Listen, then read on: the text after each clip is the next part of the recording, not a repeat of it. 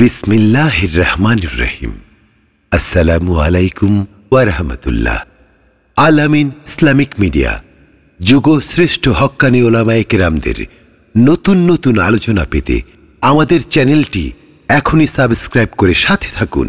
সালাম আলাইকুম রহমতুল্লাহি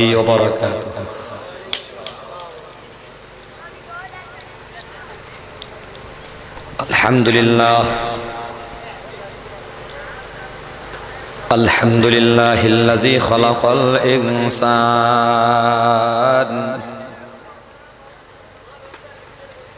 وعلمه البيان.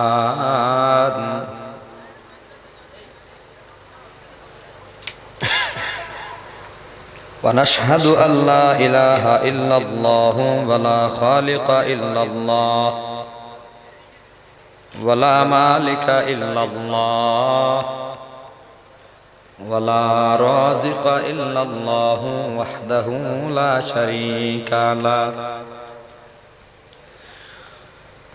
ونشهد أن سيدنا وسندنا وحبيبنا وطبيبنا وطبيب قلوبنا ومحبوبنا ومرشدنا ومعشوقنا ومولانا ومولانا محمدا عبده ورسوله.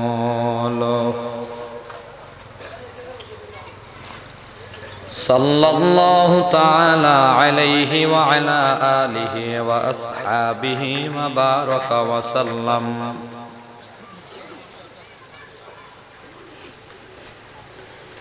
وبارك وسلم تسليما كثيرا كثيرا. الذي أرسله الله تعالى بالحق بشيرا ونذيرا. وداعيا إلى الله بإذنه وسراجا منيرا. أما بعد فأعوذ بالله من الشيطان الرجيم.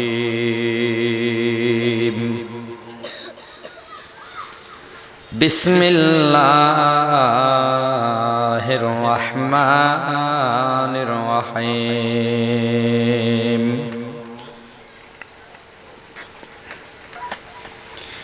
إن الله يأمر بالعدل والإحسان وإيتاء ذي القربى وينهى عن الفحشاء والمنكر والبغي يعظكم لعلكم تذكرون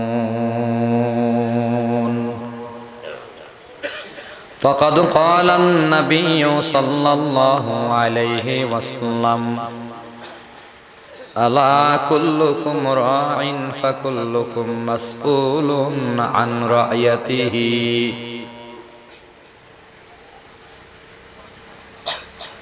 أو كما قال النبي عليه الصلاة والسلام صدق الله العظيم وصدق رسوله النبي الكريم. ونحن على ذلك من الشاهدين والشاكرين. والحمد لله رب العالمين.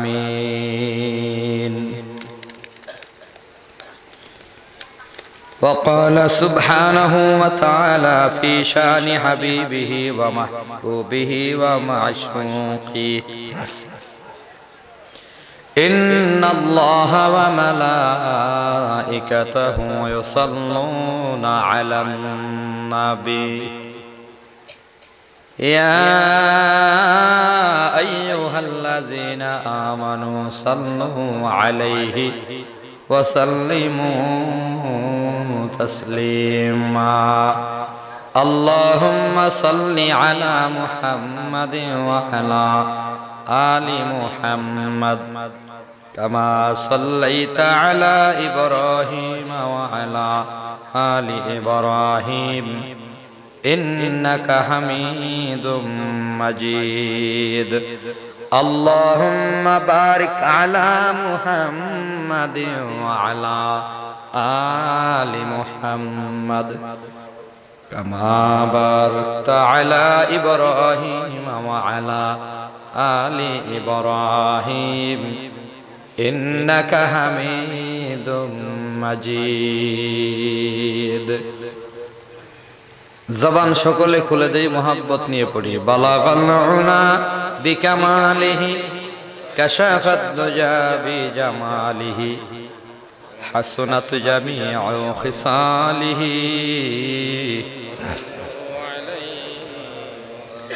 লা ইলাহা ইল্লাল্লাহ, লা ইলাহা ইল্লাল্লাহ।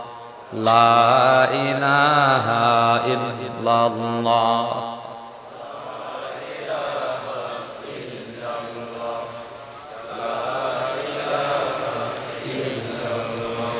লা ইলাহা ইল্লাল্লাহ মুহাম্মাদুর রাসূলুল্লাহ সাল্লাল্লাহু আলাইহি ওয়াসাল্লাম। আলহামদুলিল্লাহ। ঐতিহ্যবাহী আলহাজ জাফর ফকিরের পরিচালনায়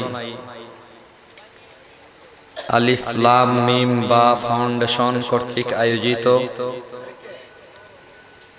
আজকের এই বিশাল আজিমুসান জিকির ও নবী সাল্লাল্লাহু আলাইহি ওয়াসাল্লাম মাহফিলের বর্তমান অধিবেশনে উপস্থিত মহতারাম সম্মানিত সভাপতি, মুআজ্জাজ ও মুকাররম দিগার হযরত উলামায়ে কারাম, আজিজ তোলাবা মুরব্বিয়ান আওয়াম সমাবয়সী যুবক বন্ধুগণ, স্নেহার ছোট ভাই, পর্দার আড়ালে বসা শ্রদ্ধেয়া সম্মানিত মা ও বোনেরা, মহিয়ান গড়িয়ান প্রভুর অসংখ্য গণিত শুকুর যে মহান রব্বুল আলমিন মেহরবানি করে, দয়া মায়া করে জান্নাতের বাগানে আসার, বসার জন্য কবুল করেছেন। এজন্য সকলেই কালিমাত শুকুর একবার পড়ে নেই, আলহামদুলিল্লাহ।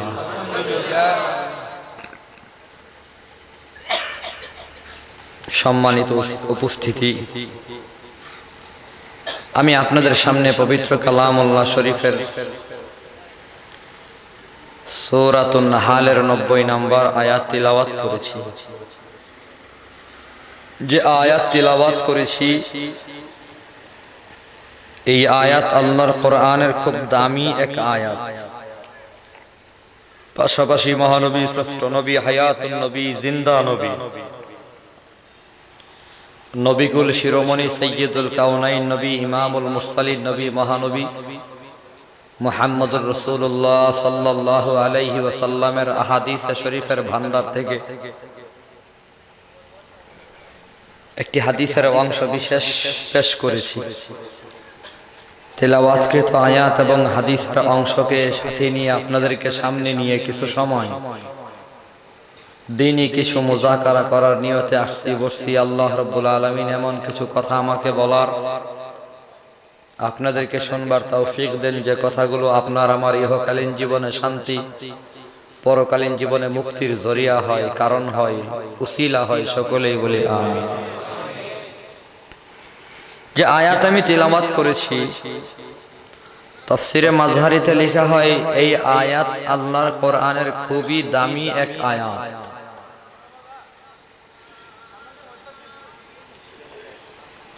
কোরআন শরীফের আয়াতের উসিলাই কোরআন তেলাওয়াতের উসিলাই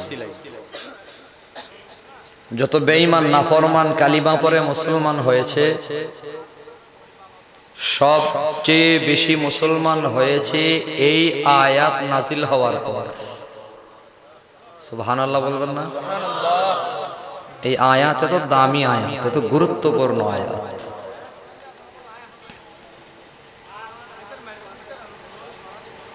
নবী যখন কালিমার দাওয়াত দেওয়া শুরু করেছেন,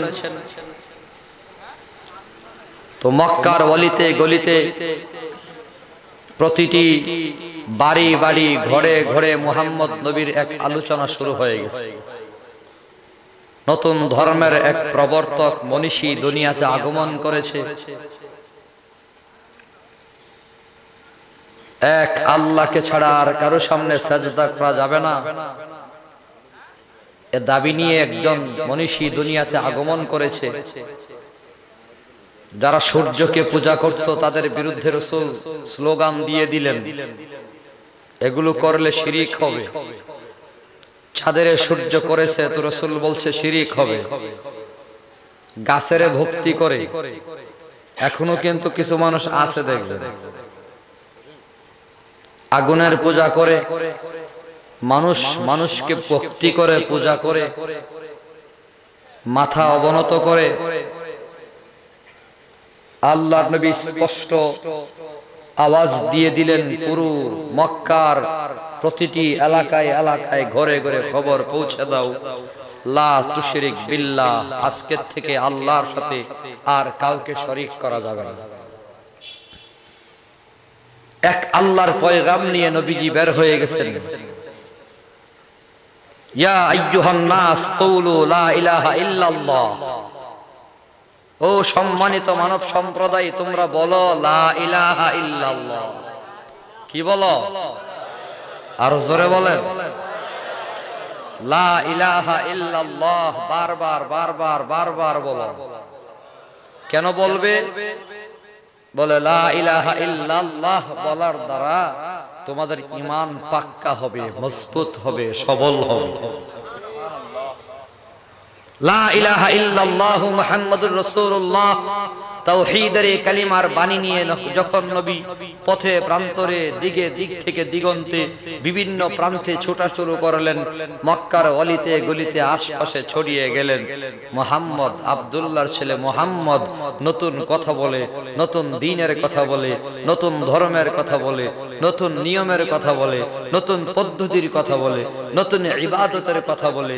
তার সব কথা নতুন, তার কাজ নতুন, তার চলা নতুন, তার আচরণ নতুন। তা যা করে সবই নতুন নতুন লাগে।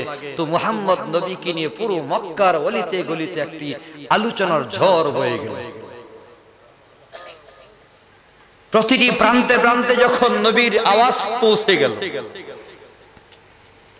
তো মক্কার বিভিন্ন গোত্রের সর্দার মাতব্বররা মনে মনে ভাবে, ব্যাপার কিরে আব্দুল্লাহর ছেলে মুহাম্মদ এমন কি কথা বলে যে কথার কারণে সারা দুনিয়ার মানুষ হয়রান পেরেশান। একটু তদন্ত করা দরকার গোষ্ঠীর সব মানুষকে জমা করে। গোষ্ঠীর মুরেল মাথা সর্দার মাতব্বর যিনি উনি বলতেছেন এক কাজ করি আমি যাব মক্কায়। কাবার আশপাশে গেলেই হয়তো মুহাম্মদকে পাবো একটু খবর নিয়ে দেখি।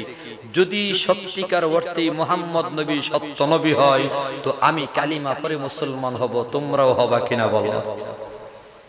লোকেরা বলে অবশ্যই সত্য নবী হলে কালিমা পড়ব না কেন? তবে তদন্তের দায়িত্ব আপনার না। আপনি গেলে তো খেলাই শেষ। আপনি হলেন সর্দার মাতব্বর আমাদের সেরেতাজ মাথার মুকুট। আপনি গেলে আমাদের সব যাওয়া হবে। আপনি থাকেন। আমরা দুজন যাব। সাধারণ মানুষ গিয়ে মোহাম্মদকে একটু পরীক্ষা করব। পরীক্ষায় যদি সত্য নবী প্রমাণ হয় পরে বিবেচনা হবে কি করা যায়। হ্যাঁ এটাই ভালো তোমরা দুজন যাও। দুইজন গেলেন। নবী আরবি সাল্লাল্লাহু আলাইহি সাল্লামের দরবারে হাজির হয়ে জিজ্ঞাসা করতেছেন, মান আনতা? আপনি কে? কি আপনার পরিচয়? আমার নবী জবাব দিচ্ছেন, কি একটু খেয়াল করবেন। আনা মুহাম্মদ ইবনে আব্দুল্লাহ। আমি আব্দুল্লাহর পোলা মুহাম্মদ। সুবহানাল্লাহ আমি ওইলে কি কইতাম। মুফতি, মাওলানা প্রখ্যাত মুফাসসির, মুহাদ্দিস, ইসলামী আলোচক, অনেক টাইটেল লাগিয়ে এরপরে নাম বলতাম। নবীজি পরিচয় দিয়েছেন আনা মোহাম্মদ ইবনু আব্দুল্লাহ, আমি মোহাম্মদ, আব্বার নাম হলো আব্দুল্লাহ। সুবহানাল্লাহ বলবেন কত সাদা সিধে জবাব। কত চমৎকার, এক সরল জবাব। আগে কোনো টাইটেল নাই, পরে কোনো টাইটেল নাই, উপাধি নাই। আমার নবী একেবারে সাদা মাটা সুন্দর করে শুধু নামটাই বলে দিলেন। অথচ সারা বছরে গোসল করে না, নামাজ পড়ে না, সুযোগ পাইলে পীর মুরিদ হমানে গাঞ্জা টানে ওই পীরেরও যদি নাম জিজ্ঞাসা করে মুড়িদের জিজ্ঞাসা করি, ব্যাপার কি তোর পীরের পরিচয় কি? পীরকে যদি প্রশ্ন করা হয়, বাবা, আপনার নাম কি? কুতুবে সুবহানি, আরিফে রব্বানি, সারা শরীরে খাও জানি কুতুবে জামান, এয়ারপোর্টের বিমান, আন্তর্জাতিক বেইমান, ইরাকের কামান। কথা কয় না। টাইটেলের অভাব নাই। বেজার হচ্ছেন? কত টাইটেল এরপরে গিয়ে শেষে হইল কুতুব আলী শাহ। উনিশ টাইটেল একটা নাম। আমার নবীর টাইটেল নাই। কথা কয়। টাইটেল নাই। সৈয়দুল কাউনাইন নবী, ইমামুল মুরসালিন নবী, শাফাতে কোবরার মালিক নবী, হাউজে কাউসার মালিক নবী সমস্ত নবীর ইমাম নবী, সমস্ত নবীর নবী ও নবী, সমস্ত রসুলের ইমাম নবী, সমস্ত রসুলের রসুল নবী। সুবহানাল্লাহ। আল্লাহ পাক বলেন, নবী, আমি আসমানের আল্লাহ, আপনি আসমানের নবী। আমি জমিনের আল্লাহ, আপনি জমিনের নবী। আমি সমুদ্রের আল্লাহ, আপনি সমুদ্রের নবী। আমি বাতাসের আল্লাহ, আপনি বাতাসের নবী। আমি সমস্ত নবীর আল্লাহ, আপনি সমস্ত নবীর নবী। আমি সমস্ত রসুলের আল্লাহ, আপনি সমস্ত রসুলের রসুল। আমি সব নবী রসুলের আল্লাহ, আপনি সব নবী রসুলের ইমাম। সুবহানাল্লাহ বলেন। এত টাইটেলের পরেও নবী পরিচয় দিয়েছেন আনা মুহাম্মদ ইবনু আবদুল্লাহ। আমি মুহাম্মদ, বাবার নাম হলো আব্দুল্লাহ। দুঃখ আমাদের সমাজে পীর সাহেবের টাইটেলের অভাব নাই। আর আমরা মনে করি যত বেশি টাইটেল পীরের থাকবে, ওই পীর বোধই বড় পীর। না মুসলমান, না না। আল্লাহর কসম করে বলি, টাইটেল দিয়া বড় পীর হওয়া যায় না। বড় পীর হওয়ার জন্য নবীর সন্ন্যতের উপর বেশি বড় আমল বলা হওয়া লাগে।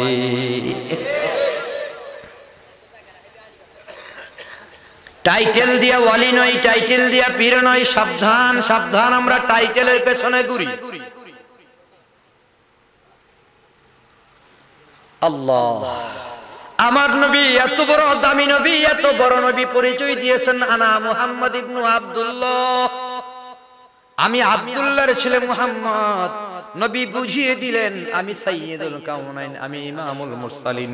এসব আমি আমার ক্ষমতায় হয় নাই, এসব পদ আমারে দিয়েছেন কে? আরও জোরে বলে। এজন্যই প্রায় সময় আমার নবী দোয়া করতো, আল্লাহুম্মা জাআলনি ফি আইনি সগীরা ওয়া ফি আয়ুনিন নাসি কাবীরা। আয় আল্লাহ আমাকে আমার নজরে নিচু বানায়া দাও, মানুষের নজরে উঁচু বানায়া দাও। আমাকে আমার নজরে নিচু বানায়া দাও, মানুষের নজরে উঁচু বানায়া দাও। আমার নবী এত বড় নবী হওয়ার পুরো দোয়া করতো আল্লাহ। আমাকে আমার নজরে নিচু বানাও, মানুষের নজরে উঁচু বানাও। এই কথার অর্থ হলো, আমার নবী আল্লাহকে বলতো, আল্লাহ, আমি যে সাইয়্যিদুল কাউনাইন, এই ব্যাপার আমার দিলে যেন কোনো অহংকার না ঢুকে।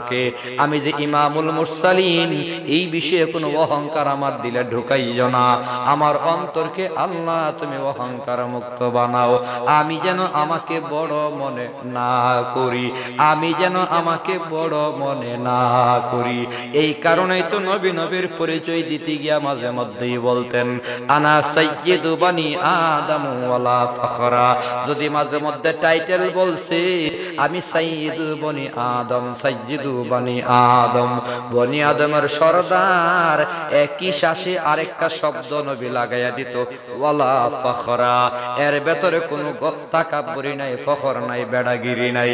আমি নবী অহংকার করি না, আমি নবী বেড়াগিরিও দেখায় না, আমি নবীর কোনো মাতবরি নাই, আমি নবীর কোনো তাকাব্বরি নাই। ওয়ালা ফখরা। আমি সাইয়্যিদু বনি আদম। বনি আদমের সর্দার আমি আমি আল্লাহর কাছে শুকর আদায় করি, আমার কোনো ফখর নাই। কারণ বনি আদমের সর্দার নবীরে বানাইছেন কে? আরও জোরে বলেন কে?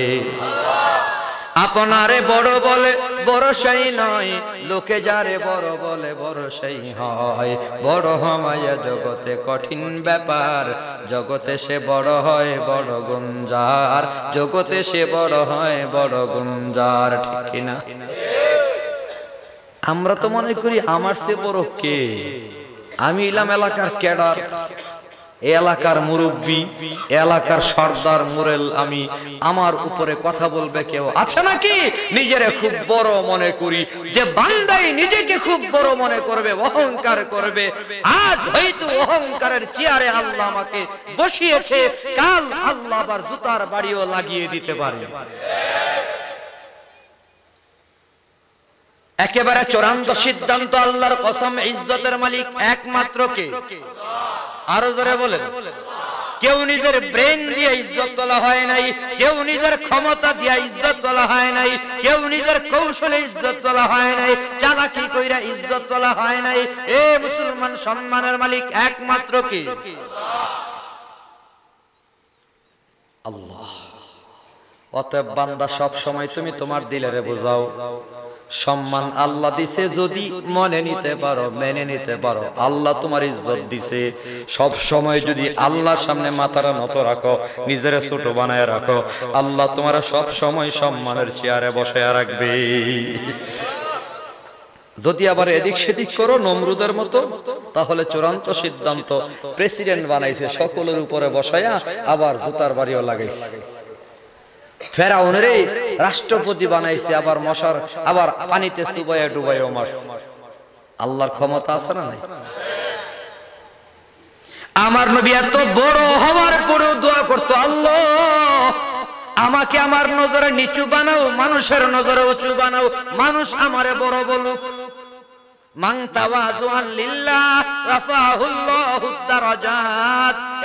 আল্লাহ নবী বলে, যে নিজেকে ছোট করে দেবে, আল্লাহ বড় করে দেবে। বড় করবার বলে বড় করে দেবে। নিজে নিজে বড় হওয়ার সুযোগ নাই। নিজেকে একটু নামায়া দাও, আল্লাহ বড় করবে। ডালপালা কাইটা দাও গাছটা বড় হয়ে যাবে। আল্লাহ। মুসলমান বাবারা, ভাইয়ের, আমার বলতেছিলাম নবী পরিচয় দিছে আনা মুহাম্মদ ইবনু আব্দুল্লাহ। আমার নবী সাল্লাল্লাহু আলাইহি ওয়াসাল্লামের সাদামাটা জবাব, আমি আব্দুল্লাহর পোলা মুহাম্মদ। মা আনতা আপনি কি? কি আপনি? আমার নবী সব পাওয়ার বলে নাই, সব পদ বলে নাই। যখন প্রশ্ন করেছে, আপনি কি রসুল? বলেছেন, আনা রসুল্লাহ আমি আল্লাহর প্রেরিত একজন রসুল। সুবহান আল্লাহ বলে আরও জোরে বলে আমারে পাঠাইছেন কে? নবী বলছেন, আল্লাহ আমারে পাঠাইছে, আনা রসুল্লাহ এই কথার অর্থ হলো, আল্লাহ পাঠাইছে। আমি আসি নাই, আল্লাহ আমারে পাঠাইছে। আমি যা বলি আমার থেকে বলি না, সব আল্লাহ থেকে বলি। আমি যা করি আমার থেকে করি না, সব আল্লাহ থেকে করি। আমি ঘুমাইলেও আল্লাহ আমার ঘুম পাড়ায়, আমি খাইলেও আল্লাহ আমারে খাওয়ায়, আমি বাথরুমে গেলেও আল্লাহ বাথরুমে নিছে। আমার যা হয় সব কার থেকে হয়? আল্লাহর প্রেরিত আমি। আমার সব আল্লাহ করে। আনা রসুল্লাহ শুধুমাত্র রসুল্লাহ এই কথার ভেতরে প্রমাণ হয় নবীর জীবনে কোনো ভুল নাই নাই। কিন্তু দুঃখ হৃদয় নিয়ে বলতে হয়, আজ বাংলাদেশে অনেক টুপিওয়ালা, ডিজিটাল মুফতি, টিভির ভেতরে বসে বসে তারা স্লোগান দেয়, লেকচার দেয়, নবীও নাকি বলেন। তারা তারা ভণ্ড, তারা পথভ্রষ্ট কোনো সন্দেহ নেই। আল আম্বিয়া কুল্লুহুম মাসুম। আহলে জামাতের আকীদা বিশ্বাস হলো নবীদের কোনো ভুল নাই, নবীরা বেগুনা মাসুম, ঠিক কি না নবী ভুল করছে, এই কথা যদি কেউ বলে, তাহলে প্রমাণ হবে, আল্লাহ ভুল করছে। কারণ নবী কোনো কথা নিজের থেকে বলে নাই, নবী কোনো কাজ নিজের থেকে করে নাই। ওয়ামা আয়ান্তিকু আনিল হাওয়া, ইন হুয়া ইল্লা ওয়াহয়ুন ইউহা। সুবহানাল্লাহ বলেন। ওয়ামা ইয়ান্তিকু আনিল হাওয়া, ইন হুয়া ইল্লা ওয়াহয়ুন ইউহা। এ মুসলমান ভালো করে জানো, আমার নবী নিজের থেকে বলে নাই, নিজের থেকে কিছু করেও নাই। আমি আল্লাহ বলার পরে বলছি, আমি আল্লাহ বলার পরে করেছি। আল্লাহর কোরআন বলতেছে, ওয়ামা আনিল হাওয়া, ইন হুয়া ইল্লা মুহাম্মদ না গুফতান তানা গুফতান জিবরাইল জিবরাইল না গুফতান তানা গুফতান রব জলিল। আমার আল্লাহ যতক্ষণ বলে নাই, জিব্রাইল আমিন ততক্ষণ কথা বলে নাই। জিব্রাইল আমিন যতক্ষণ বলে নাই, আমার নবীও কোনো কথা বলে নাই। তার মানে হলো আমার নবীরে পাঠাইছে আল্লাহ, নবী যা বলছে, বলাইছে ওকে।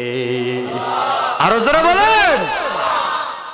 নবীর সব কাজ আল্লাহ করিয়েছে। এখন নবী যদি ভুল করে থাকে, তাহলে তোমার স্লোগানের প্রমাণ হবে, আল্লাহ ভুল করিয়েছে। যে বলবে আল্লাহ ভুল করিয়েছে, নবী ভুল করেছে, আল্লাহর কসম তার ইমান চলে গেছে।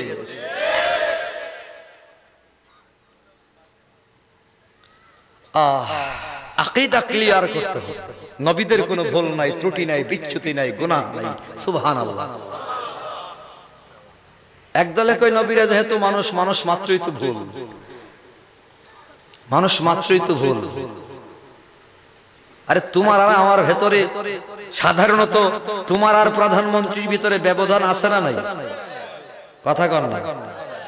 প্রধানমন্ত্রী আর রাষ্ট্রপতির ভিতরে ব্যবধান আছে না নাই?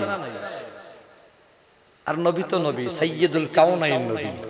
নবীর সাথে তুলনা করা যাবে এমন কোন সাই বস্তু আল্লাহ বানান নাই।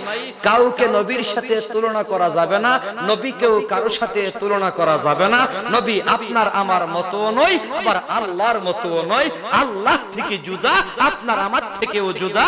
সকলের উপরে, আল্লাহর পরে, সর্বোচ্চ পর্যায়ে আল্লাহর পরে, সকলের উপরে হলো নবীর পজিশন। একটু সাফ করা লাগবে আকিদা। কেউ কেউ বলে, নবী ওই আল্লাহ। আবার নবীকে একেবারে সাধারণ মানুষের মতোই মনে করে। মানুষ যখন ভুল করে, নবীও করতে পারে। নবী মরে গেছে, পচে গেছে। অথচ আহলে সুন্নতুল জামাতের আকিদা হলো, নবী কবরে হাই মানে জিন্দা নবী। কি নবী? আরও জোরে বলেন। বুঝতে অসুবিধা হচ্ছে আপনাদের? আমার কথা আপনারা বুঝেন। কোনো একটা কথা না বুঝলে একটু বলবেন, যেহেতু আমার দায়িত্ব আপনাদেরকে বুঝিয়ে বলা। আমারও কিছু ভুল থাকতে পারে, আপনারা আমাকে বুঝিয়ে দেবেন। আপসী মীমাংসাই আমরা ভাই ভাই, একটা সমস্যার সমাধানের পথে ইনশাল্লাহ আমরা আগাবো। কোনো সমস্যা নিয়ে এখান থেকে আমরা যাব না, ঠিক কিনা? আল্লাহ আমাদেরকে সমস্যার সমাধান নিয়ে জান্নাত পর্যন্ত যাওয়ার তাও ফিক দেন সকলে বলে আমি আল্লাহ মুসলমান বাবারা, ভাইয়ের আমার। তো বলতেছিলাম, আমাদের নবী জিন্দা নবী। নবী ভুল করে এই ভুল করতে পারেন না। কিন্তু কেউ আবার নবীরে আল্লাহ বললে আবার শিরিক হয়ে যাবে। আল্লাহ নবী এক না। একথা ক্লিয়ার কেউ যদি বলে, নবী, এত বড় এত বড় এত বড়, বানাইতে বানাইতে আল্লাহ বানিয়ে ফেলে, আমি মনে করব সে বোধহয় মাঝে মধ্যে তার দোলা ভাইয়ের আব্বা ডাকে। দোলা ভাই বুঝেন, ভগ্নিপতি বুঝেন, আরে দোলাবাই শালারে যতই আদর করুক, যতই মোহাব্বত করুক দোলাভাইয়ের দাম যত বেশি হোক এসপিডিসি এমপি মন্ত্রীও যদি হয় দোলাভাইয়ের কি আব্বা ডাকা যাবে? জোরে বলে আব্বার জায়গা ভিন্ন দুলাভের জায়গা ভিন্ন, আল্লাহর পজিশন ভিন্ন, নবীর পজিশন ভিন্ন সুবাহান বুঝতে হবে।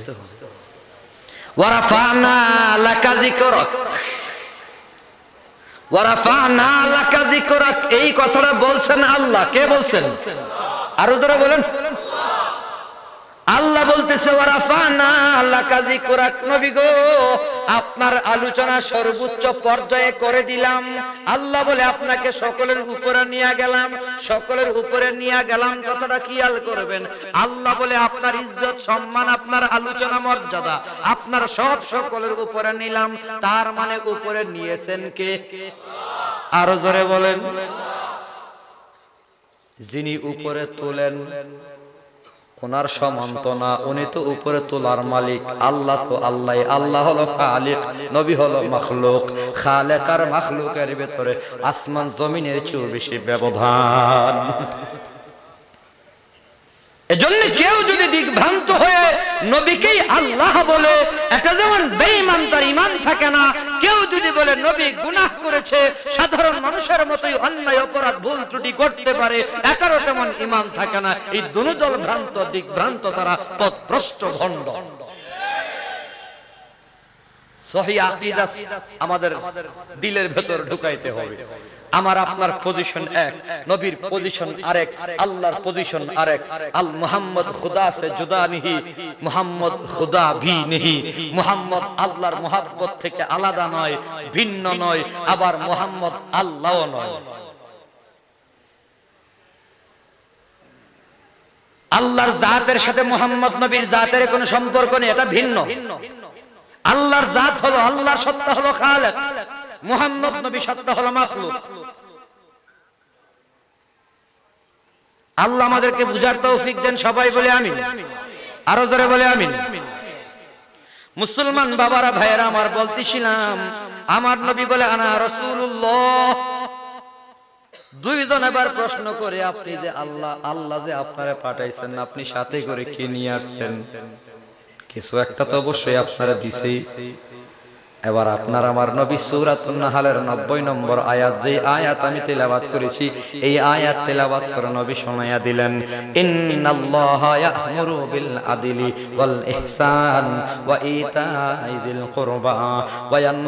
আনিল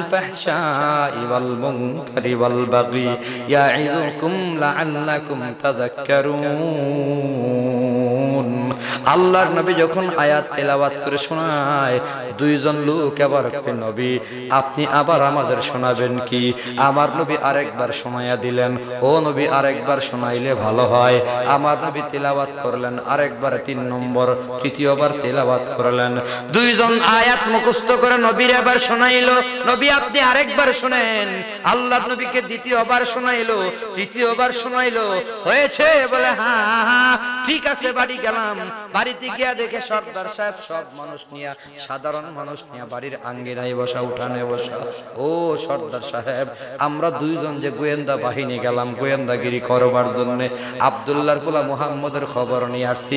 প্রশ্ন করেছি, জবাব দিয়েছে, পরিচয় হলো আবদুল্লাহর ছেলে মোহাম্মদ। জিজ্ঞেস করেছি, আপনি কে? পরিচয় দিয়েছেন আল্লাহর রসুল। কি এনেছেন প্রশ্ন করার পরে এই আয়াতখানা আমাদেরকে নবী শোনায়া দিছেন, ইন্নাল্লাহ ওয়া ইতা'i যিল কুরবা ওয়া ইয়ানহা আনিল ফাহশাই ওয়াল মুনকারি ওয়াল বাগি ইয়া'iযুকুম লা'আল্লাকুম তাযাক্কারুন। সর্দার কই আবার আমারে তেলাওয়াত করে শোনাও, দ্বিতীয়বার তেলাওয়াত করে শোনানো হইল, তৃতীয়বার আমাকে তেলাওয়াত করে শোনাও। সর্দার তিনবার শুনে আবার নিজে তেলাওয়াত করে শোনাই হয়েছে কি হা? আরেকবার শোনা হয়েছে কি হা? আরেকবার সর্দার নিজে শোনাইছে বলে, হা, তেলাওয়াত কি সহি? কয়, ঠিক আছে। সর্দার সকল মানুষকে সামনে নিয়ে কয়, ও কমের লোকেরা, ভালো করে শোনো। এত জামে মানে গুরুত্বপূর্ণ কথা যেই নবীর কাছে পাঠানো হয়, এটা সত্য নবী, কোনো সন্দেহ নাই। আমি তোমাদের সাক্ষী রাইখা, কালিমা পড়ে মুসলমান হয়ে গেলাম। আমি মুসলমান হয়ে গেলাম। লোকেরা কই আমরাও দেরি করলাম না, আপনার সাথে কালিমা পড়ে মুসলমান হয়ে গেলাম। এজন্যই কোন একজন সর্দার মানুষ যদি নামাজি হয়, মুত্তাকি হয়, পরহেজগার হয় এলাকার বহু মানুষ নামাজি হয়। ঠিক কি না কিছু কিছু দাওয়াতের মেহনতে দুনিয়ার বড়দের মূল্যায়ন করতে হয়। এলাকার চেয়ারম্যান সাহেব যদি সৎ কাজে নেমে যায়, আজকের থেকে এলাকায় ইফটিজিং হবে না, আজকের থেকে এলাকার ভিতরে গাঞ্জা হবে না, আজকের থেকে এলাকায় ফ্যান্সি ডিল হবে না, আজকের থেকে ইয়াবা হবে না। এলাকার চেয়ারম্যান সাহেব যদি কঠোর হুঁশিয়ারি দিয়া দশ বারো জন যুবক নিয়ে এলাকার ভেতরে নেমে যায়, আল্লাহর কসম, এলাকায় একটা গাঞ্জা করে থাকবে না। যদি আজকে স্লোগান দেয়া দেয়, আল্লাহ পাক চেয়ারম্যান মহোদয়কে কবুল করেন সবাই বলে আমি এলাকার সর্দার মাতব্বর সবাই মিলে যদি বলে, আজকে থেকে টেলিভিশন বন্ধ। এই সবাই মিলে যদি আজকে থেকে পাঁচ অক্ট নামাজ জামাতে আদায় করা লাগবে। ঠিক কি না চেয়ারম্যান সাহেব তো জোয়ান মানুষ, আল্লাহ পাক চেয়ারম্যান সাহেবকে কবুল করুন, সবাই বলে আমি আমার চেয়ারম্যান ভাই যদি এলাকার দশটা বা বিশটা যুবককে সাথে নিয়ে আজকে সিদ্ধান্ত নেয় তোরা বিশ জন যুবক রেডি থাকবি। আজকের থেকে কোনো একজন যদি নামাজ না পড়ে, পিঠের চামড়া উঠাই ফেলমু। তো মুরব্বীরা দৌড়াদৌড়ি শুরু করবে, কার আগে কে মসজিদে যাবে, উজু করার টাইম নাই, মসজিদে আগে ঢুক। ঠিক কিনা? দুনিয়ার বড় যারা, দুনিয়ার বড় হচ্ছে সর্দার মাতব্বর নেতৃত্বে যারা আছেন। ইসলাম তাদেরকে কদর করেছেন। আমার নবী বারে বারে দোয়া করতো, আল্লাহ, আবু জাহাল অথবা ওমর যে কোনো একটারে মুসলমান বানায়া দাও, কারণ এগুলো হচ্ছে মাথা। একটা যদি লাইনে, হাজার লাইনে চলে আসবে, আল্লাহ দোয়া কবুল করেছে। ওমর মুসলমান হয়েছে পরেই ইসলামের আওয়াজ পুরো মক্কায় ছড়িয়ে পড়েছে, আজান জুড়ে হয়ে গেছে, প্রকাশ্যে নামাজ চালু হয়ে গেছে। সুবহানাল্লাহ।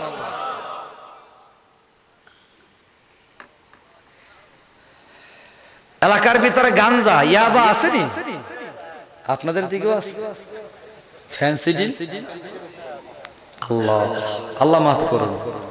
আজ যুব সমাজ ধ্বংসের পথে।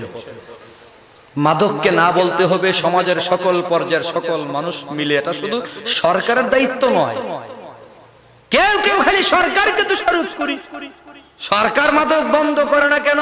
মাদক ফিরাই না কেন? আপনি আপনার ছেলের খবর রাখেন না সরকারের দোষে কি করবে? ছেলে কই গেল, কি করল, না করল? খবর তো আপনার নেওয়ার দায়িত্ব, ঠিক কি না? সরকার করব কি, পুলিশ তো দিয়া রাখছে রাস্তার মোড়ে মোড়ে। আর কি করব? যদি কোনো কারণে বোতল টোতল নিয়ে ধরা পড়ছে, পুলিশ তো আটকাইছিল। কারণ টাকার ভান্ডাল দেখাই দিছে, কি করবে? হেরা তো একটা লোভ আছে, মানুষ তো সে। মানুষ হিসেবে তো কিছু লোভ আছে, ঠিক কি না তো আপনার ছেলে কাজে যায় কেন? এটা তো বাবার দায়িত্ব, মায়ের দায়িত্ব, ছেলের খবর নেওয়া। আমরা পরিবার থেকে পারিবারিক ভাবে সামাজিক ভাবে আমরা রাষ্ট্রীয় ভাবে সকল পর্যায়ে, সকল স্তরে, সকলে মিলে মাদক মুক্ত বাংলাদেশ গড়ার এক চিন্তা ভাবনা আমাদের করতে হবে। ঠিক কি না সবাই মিলে চেষ্টা করতে হবে। সরকারকে একা দোষারোপ করা, এর অর্থ সব কাজে সরকারের দোষ। আমাদেরও তো কিছু দোষ আছে না নাই? আমি আমার নিজের দোষটা বলার চেষ্টা করতেছি। আমারও তো দোষ আছে। প্রত্যেক এভাবে বোঝা উচিত, আমারও কিছু ত্রুটি আছে, বিচ্ছুতি আছে, আমার কিছু কমি আছে, ঘাটতি আছে। আমাদের যে দায়িত্ব ছিল, সে দায়িত্ব আমরা আদায় করিনি। অতএব অন্যকে দোষার আগে নিজের দোষ পেশ করা দরকার, ঠিক কি না আপনারা কি বেজার হচ্ছেন? খারাপ লাগতেছে নাকি? ফ্যান্সি ডিল বন্ধ হইলে যুব সমাজ একটু কষ্ট হইব। হয়তো আমার উপর রাগ করব। হুজুরে ফ্যান্সি ধরলো কেরা? এটা খাইতেছি নীরবে খাইতে আসছি আরে ভাই, খাও, তোমার মনে চাই, তুমি ইচ্ছা মতো খাও। খাইলে আমার লস না, তোমার লস ঠিক কি না? আল্লাহ, এই নেশা নেশা জাতীয় দ্রব্যগুলো কত যে খারাপ। বিজ্ঞান বারবার রিপোর্ট দিচ্ছে, ভবিষ্যৎ প্রজন্ম বাচ্চা জন্ম দেওয়ার মতো শক্তি হারিয়ে ফেলবে। বংশ আর থাকবে না এদের করে ছেলে মেয়ে হবে না।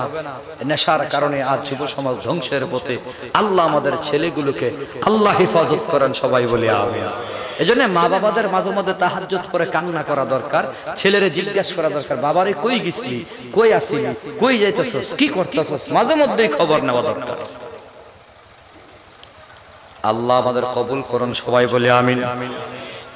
বলতেছিলাম, আয়াত কত দামি আয়াত? কি এমন আয়াত? আয়াতের ভেতর এমন কি কথা? কাফের বেঈমান শুনে আর মুসলমান হয়ে যায়। নিশ্চয়ই এই আয়াতের ভেতরে দামি কিছু কথা আছে, আমরা আরবি হিসেবে, আমরা বাঙালি আরবি আয়াত বলে বুঝি না, কিন্তু কাফের বেঈমান যারা আয়াত শুনে শুনে মুসলমান হয়ে গেছে, তারা তো আয়াতের অর্থ জানে, তাফসিরে ব্যাখ্যা জানে, আরবি ভাষাভাষী হওয়ার কারণে। আল্লাহ কোরআনের আয়াতে এমন কি কথা বলেছেন? দলদলে মুসলমান আয়াত মানার পাগল হয়ে গেছেন। তাফসিরে মাঝহারিতে লেখা হয়, আল্লাহ রব্বুল আলামিন শুধুমাত্র এই আয়াতকেই যদি কোরআন শরীফে নাজিল করত, আর কোনো আয়াতের দরকার নাই। শুধুমাত্র একটা আয়াত দিয়াই পুরো দুনিয়ার ভেতরে শান্তির ফাইসালা হতো। লা ইলাহা ইল্লাল্লাহ, লা ইলাহা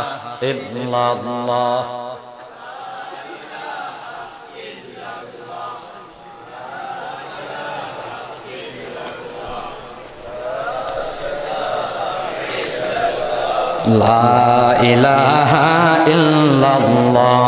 لا إله إلا الله. لا إله إلا الله. لا إله إلا الله. محمد رسول الله.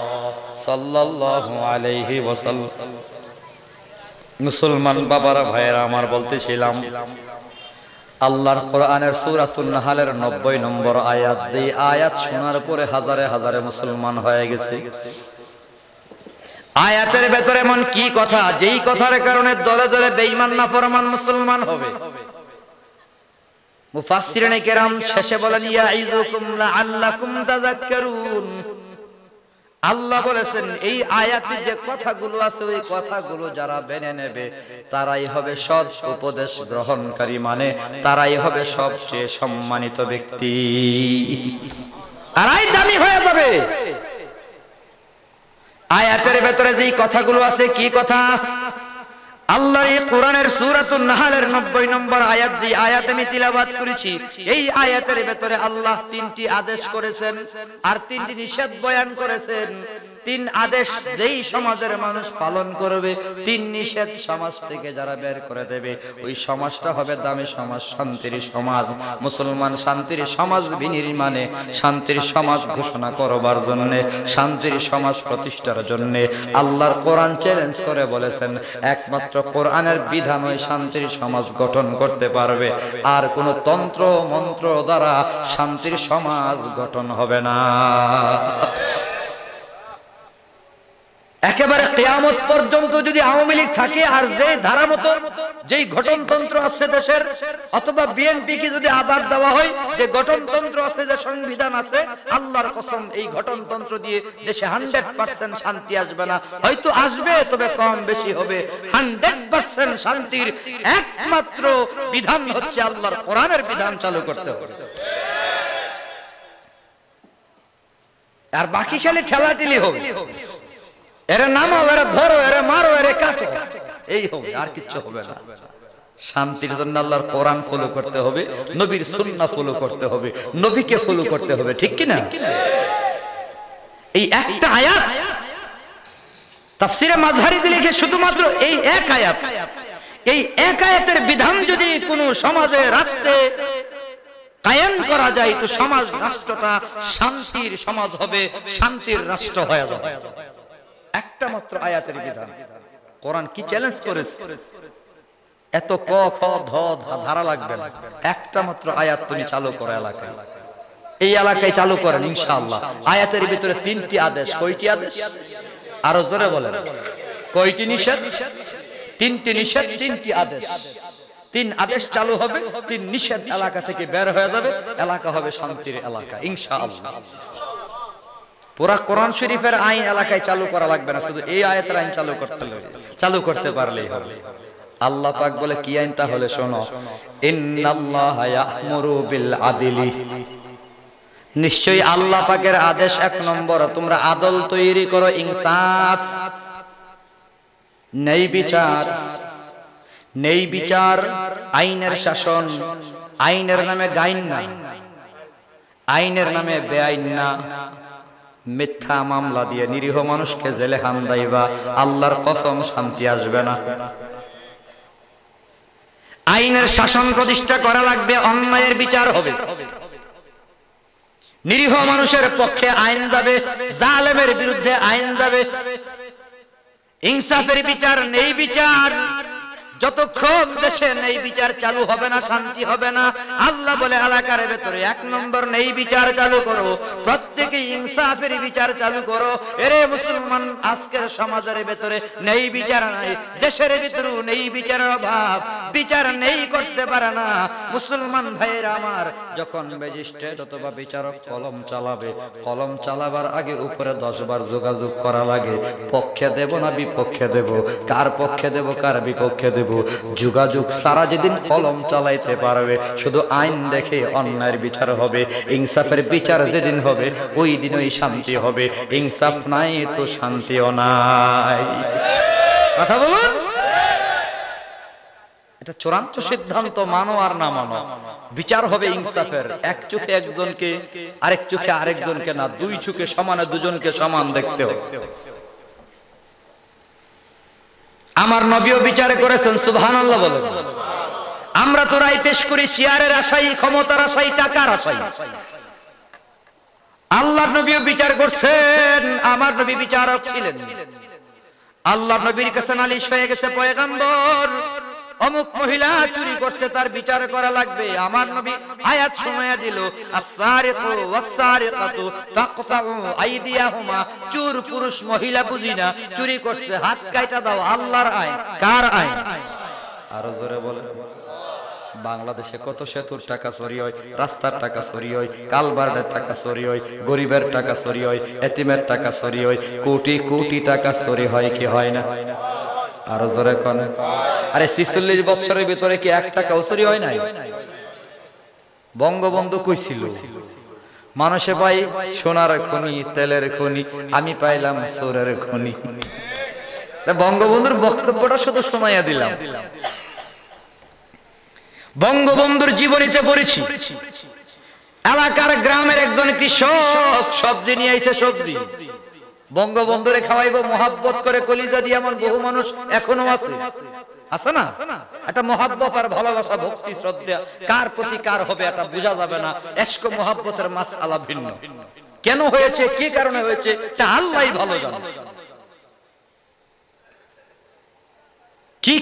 একজনকে মোহাব্বত করেছে কে আল্লাহ ভালো তো বেচারা গ্রাম থেকে সবজি নিয়ে গেছে বঙ্গবন্ধুরে খাওয়া দারোয়ান কই এখানে দাঁড়া। এই সবজি নিয়ে উপরে গেছে। বঙ্গবন্ধুর দিছে, তো বঙ্গবন্ধু ভাবছে, কোনো বিক্রি টিক্রি করতে আসছে বোধে কৃষক? এর বিশটা টাকা দিয়ে দিছে। দারোয়ানের কাছে বিশ টাকা দিছে, দারোয়ানে দশ টাকা চুরি করে দশ টাকা কৃষকের দিছে। কৃষক বেচারা দশ টাকা পকেটে নিয়ে কই ভাই, হাতে পায়ে ধরি, বঙ্গবন্ধুরে গিয়া কই টাকা নিতে আসি নাই, সবজি বিক্রি করতে আসি নাই, আমি বঙ্গবন্ধুর সাথে একটু সরাসরি দেখমু আর কথা কইমু। আমি বড় সব কইরা অনেক দূর ঠিক আইছে, একটু কথা কইতাম। বঙ্গবন্ধু বাস্তবে যেটা ছিল একটু সরল মাইন্ডের, একটা বিষয় ছিল ওনার ভেতরে, মানুষকে রেসপন্ড করা মানে গ্রহণ করা। কেউ আসছে তো খোলামেলা কথা বলার একটা গুণ তার ভেতরে ছিল, এটা আমাদের সকলেই জানা। তো ওনার ইতিহাস পড়লাম, তো বেচারা ঠিক আছে, দারোয়ানকে আহতে যাই বেচারা উপরে গেছে, গিয়া বঙ্গবন্ধুরা দশটা টাকা ফেরত দেয়। স্যার আপনার জন্য আমি সবজি আনছি, আমার ক্ষেতের সবজি, বিক্রি করতে আনি নাই। তাহলে দশ টাকা কেন? বিশ টাকা দে। আপনার দারোয়ান তো আমার দশ টাকাই দিচ্ছে বঙ্গবন্ধু কয়, যে দেশে দুতলা থেকে নিচতলায় যাইতে যাইতে বিশ টাকা, দশ টাকা হয়ে যায়, এ দেশ কেমনে আমি আগে রন্ধ্রে রন্ধ্রে পরতে পরতে চুরের অভাব নাই। কথা কয় না। চোর আছে না নাই? আর জোরে করলে চোর আছে না নাই? আল্লাহ, আমি নিরপেক্ষ কথাগুলো বলি। একবারে নিরপেক্ষ। চোর যে দলেরই হোক, আল্লাহর বিধান তার হাত কাটা দাও। একটা চোরের হাত যদি কাটা হইতো, বাংলাদেশে আর কোন সময় ব্যাংকের টাকা চোর, রাস্তার টাকা চোর কালবারের টাকা চোর নতুন করে জন্ম হতো না। একটা যদি হাত কাটা হইতো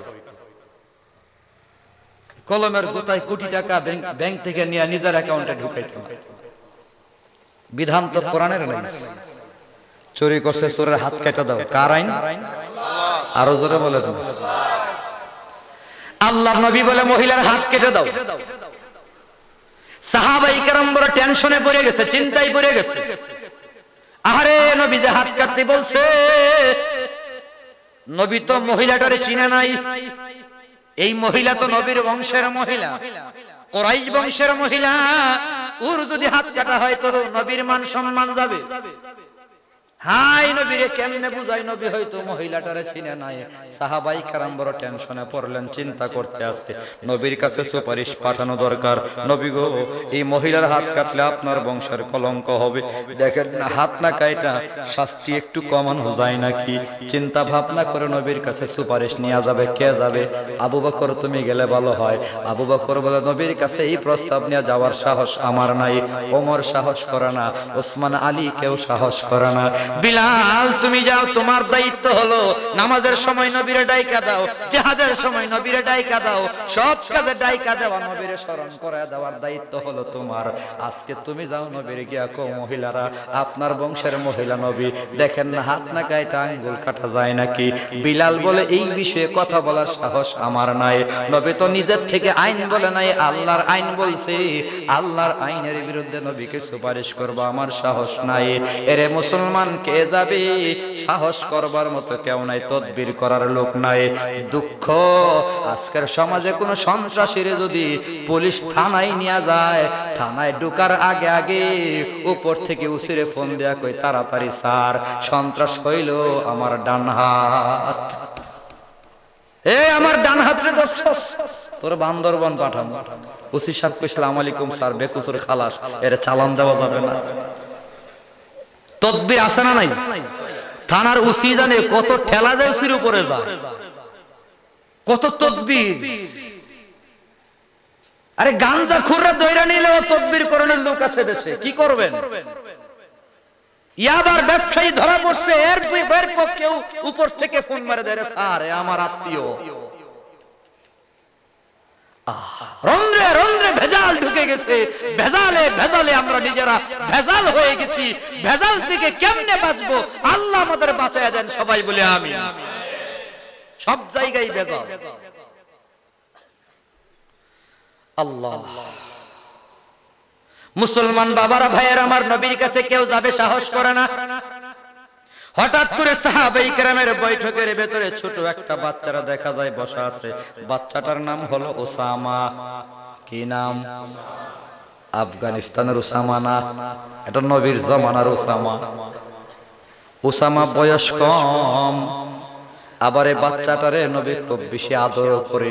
আমার নবী যখন ঘুমায়, নবীর বুক মুবারকে শোয়া ঘুম পাড়ায়। সাহাবাই কারাম মনে মনে ভাবে বয়স্ক আবার নবী নিজের বুকে শোয়া ঘুম পাড়াই এত দামি, এত ভালো সাহাবি, এত ছোট মানুষ, ভালো মানুষ, আমার নবী আদর করে, মোহাব্বতের মানুষ। এরে দিয়া যদি নবীর কাছে সুপারিশ পাঠায়, তাহলে আমার আপনার নবী বেজার হবেন না, ছোট মানুষের সাথে রাগ করবেন না। আমার নবী বুকে শুয়ায়া বাচ্চাটারে কেন ঘুম পাড়ায়? বাচ্চার সাথে নবীর সম্পর্ক কি? উসামার সাথে নবীর সম্পর্ক কি? এরে মুসলমান, সম্পর্কটা শোনো, আমার নবীর একটা পালক পুত্র ছিল, নাম তার জায়েদ বিন হারেস। জায়েদ বিন হারেস নবীর পালক পুত্র কেমনে হলো? জায়েদ বিন হারেস বাজারে গোলাম হিসেবে বিক্রি হয়। আম্মা জান খাদিজা রাদিয়াল্লাহু তাআলা আনহার চাচাতো ভাই বাজার থেকে চারটি গোলাম কিনে আনছে। চার গোলাম কিনে আয় না বোন খাদিজারে বলে, খাদিজারে, চার গোলামের ভেতরে যারে পছন্দ হয় তুই হাদিয়া নিয়ে যা। একটা গোলাম তোরে হাদিয়া দিলাম। আম্মা জান খাদিজা রাদিয়াল্লাহু আনহা গোলাম জায়েদ বিন হারেসরা দেখা পছন্দ হলো। নিয়ে আসছে বাড়িতে। মনে মনে ভাবে আমি মহিলা মানুষ, গোলাম দিয়া কি করমু? আমার হাবিব, আমার নবী তো দিনের দাওয়াত নিয়ে বহু জায়গায় সফরে যায় সফরে রওনা করেন, বাজারে সফর করেন, এলাকায় সফর করেন, বিভিন্ন জায়গায় আমার নবী ঘুরতে যান, দাওয়াতের কাজে বের হন। নবী একা একা যান, সফর সঙ্গে একজন দরকার অতএব এগুলাম আমার দরকার নাই। নবী যখন করে আসছে আম্মাজান খাদিজা রাদিয়াল্লাহু তাআলা বলেন, পয়গম্বর পয়গম্বর, আমি গোলাম দিয়া কি করব? আপনি দিনের দাওয়াত নিয়ে সফরে একা একা যান, নিয়া যান জায়েদ বিন হারেসারে। আপনার নামে হাদিয়া দিয়া দিলাম। আমার নবী হাদিয়া পায়া কয়, আমি বিশ্ব নবী মানুষের গোলাম বানায় রাখবার পারব না। এটা আমার পক্ষে সম্ভব না। জায়েদ রে, যা যা, আমি তোরে স্বাধীন করে দিলাম। তুই তোর বাবার বাড়ি চলে যা। জায়েদ বিন হারেসের আজাদ করল, মুক্তি দিয়া দিল নবী। কিন্তু আল্লাহর মোহাব্বত, আল্লাহর কুদরত বুঝা বড় কঠিন।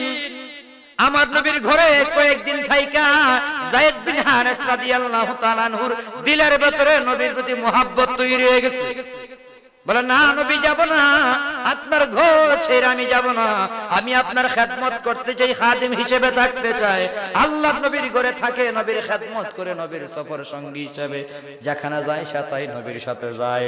হঠাৎ করে একদিন খবর পাইল, জায়েদের বাপ খবর পাইছে, তার তার সন্তান জায়েদ নাকি মোহাম্মদ নবীর গোলাম। মক্কায় আগমন করেছে, মোহাম্মদ নবীর ঘরে আইসা কই, মোহাম্মদ, আমার সন্তানটা তুমি দিয়া দাও। বিনিময় তুমি কি নিবা নিয়া নাও। আল্লাহ নবী কই ও জায়েদের বাপ, কিচ্ছু লাগবে না, টাকা পয়সা লাগবে না, মাল ও দৌলত লাগবে না। তোমার সন্তানকে বহু আগে আমি আজাদ করে দিয়েছি, নিয়ে যাও, কিছু দেওয়া লাগবে না।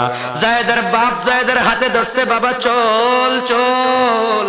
কিতাবের ভেতরে লেখে, জায়েদ রাদিয়াল্লাহু আনহু চোখ নিজের দিকে দিয়া চোখের পানি সরে সরে কান্না করে। আর মনে মনে ভাবে, এখন যে ঘরে আছি, এই ঘরে চব্বিশ ঘন্টাই আল্লাহ পাকের রহমত নাজিল হয়, জিব্রাইলের আগমন হয়, আল্লাহর কোরআনের আয়াত নাজিল হয়। এত দামি ঘর যেখানে ওয়াহি নাজিল হয়, এত বরকতি, রহমতি, নুরানি ঘর পালাইয়া আমি কোথায় যাব কোথায় যাব না না। আব্বা জান, এত দামি ঘর ফালাইয়া আমি কোথাও যাব না। জায়দার বাপ ব্যর্থ হইয়া বাড়িতে একা একা হয়। সন্তান হিসেবে বাবার প্রতি মায়া চোখের পানি ছেড়ে কান্না করে। নবীর ছাড়বার পারে না। বাবার জন্য আবার মায়া হয়, বাড়ির জন্য মায়া হয়। কিন্তু বাবা পাইতে গেলে নবী হারা হবে। আবার নবী পাইতে গেলে বাবা হারাও হওয়া লাগবে। বাবা হারাবার ব্যথায় কান্না করে। দার্শনিক নবীর বুঝতে বাকি নাই। বাবার বিয়োগে জায়েদ কান্না করতেছে, আব্বা বলে ডাকার মতো কেউ নাই। আল্লাহ নবী জায়েদের হাতে ধরছে, চল জায়েদ চল। মক্কার ঘরে কাবা ঘরের সামনে গিয়া জায়েদের সাথে রাইখা মক্কা নগরীকে আমার নবী ডাইকা বলে, এ মক্কা নগরী ভালো করে শুন, আজকে তোরা শুনিয়া যা, আজকের পর থেকে জায়েদের কেউ গোলাম বলে ডাকবি না, কেউ পর গাছা বলে ডাকবি না, জায়েদের বাপ নাই এমন কেউ বলবি না। আমি বিশ্ব নবী ঘোষণা করলাম, আজকের পর থেকে জায়েদের বাপ হইলাম আমি বিশ্ব নবী। জায়েদ আজকের থেকে আমার সন্তান। আল্লাহ নবী নিজের সন্তান বানিয়ে নিছে। জায়েদ আনন্দে হারে সাধারণ আব্বা হারায়, অসাধারণ আব্বা পায়ে গেলাম। জান্নাতি বাপ পায়ে গেলাম, পরিবার পায়ে গেলাম, বড় খুশি।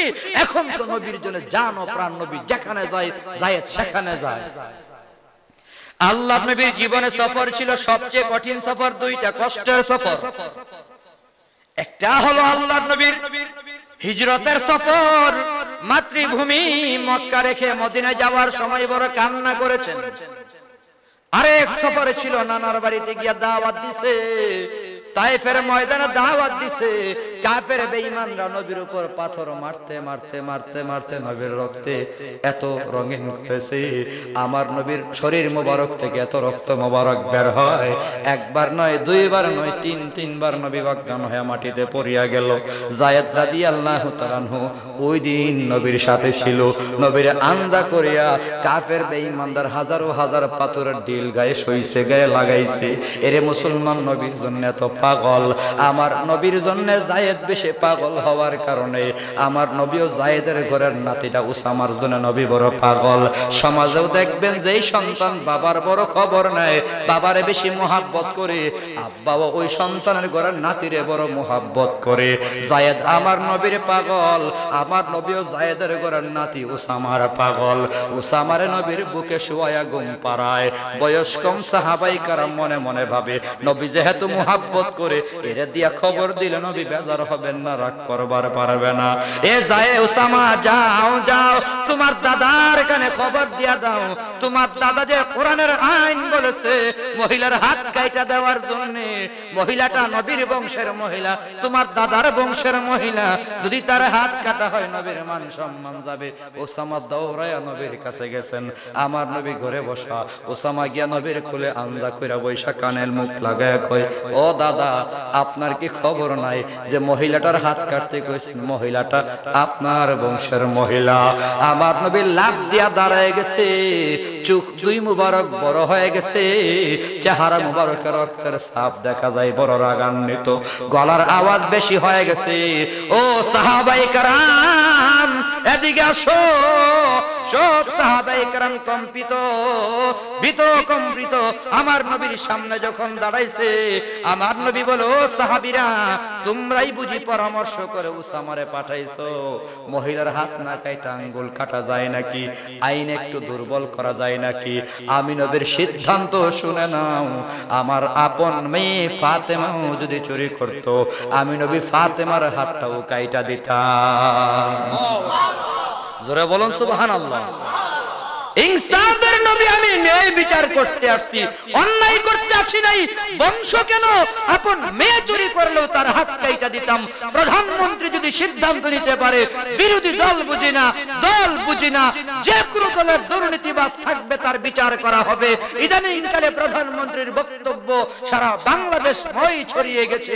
উনি বলেছেন, দল মত নির্বিশেষে আওয়ামী লীগ, বিএনপি বুঝি না দুর্নীতিবাদ যেখানে পাওয়া যাবে, তারই বিচার করা হবে। তাহলে আমার প্রস্তাব হবে। আপনার মন্ত্রী শিক্ষা মন্ত্রী নুরুল ইসলাম নাহিদ সাহেব বক্তব্য দিয়েছিল, ঘুষ খায়েন, বাকি কম খায়েন। ঘুষ খাওয়ার পক্ষে বক্তব্য দেওয়ার কারণে তার বিচার প্রথম করা দরকার।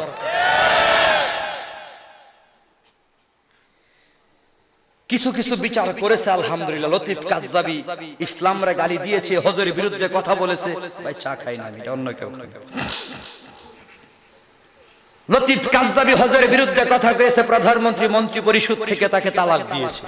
ঠিক কিনা? এভাবে একটা একটা করে রাস্তিক মুরতাদ বেঈমান, নাফরমান, নবীর দুশ্মন, ইসলামের দুশ্মন, বিধানের দুশ্মনকে যদি বিচার করা হয়, ইনশাআল্লাহ দেশে আইনের শাসন কায়েম হয়ে যাবে। বাকি বিচার হতে হবে ইনসাফের বিচার। শুধু বিরোধী দলের হলেই তার ধর, মার এমন না যে কোনো দলের আপন ভাইও যদি হয়, অন্যায় করবে, তার বিচার হবে। আপন বিয়াইও যদি রাজাকার হয়, তার ফাঁসি হবে। তাই লইব ইনসাফের বিচার। ঠিক কিনা? আল্লাহ। আমি পক্ষে বলি না, নিরপেক্ষ বলি। ঠিক কিনা? নিরপেক্ষ আমাদের বলা দায়িত্ব। কে ক্ষমতায় যাবে, কে ক্ষমতায় থেকে নামবে আমাদের দেখার বিষয় না। আমাদের দেখার বিষয় হলো দেশের স্বার্থে, ইসলামের স্বার্থে, দশের স্বার্থে, জনতার স্বার্থে যেটা সত্য সেটা আমাদের বলতে হবে, মানা না মানা সাধারণ জনগণের ব্যাপার। কোন দিকে আপনি যাবেন সেটা আপনার ব্যাপার, আমি পথ খুলে দিলাম। এক নম্বর, নেই বিচার প্রতিষ্ঠা করো, আল্লাহ বলেছে সমাজে নেই বিচার আসবে, জ্বালাও পোড়াও বন্ধ হয়ে যাবে।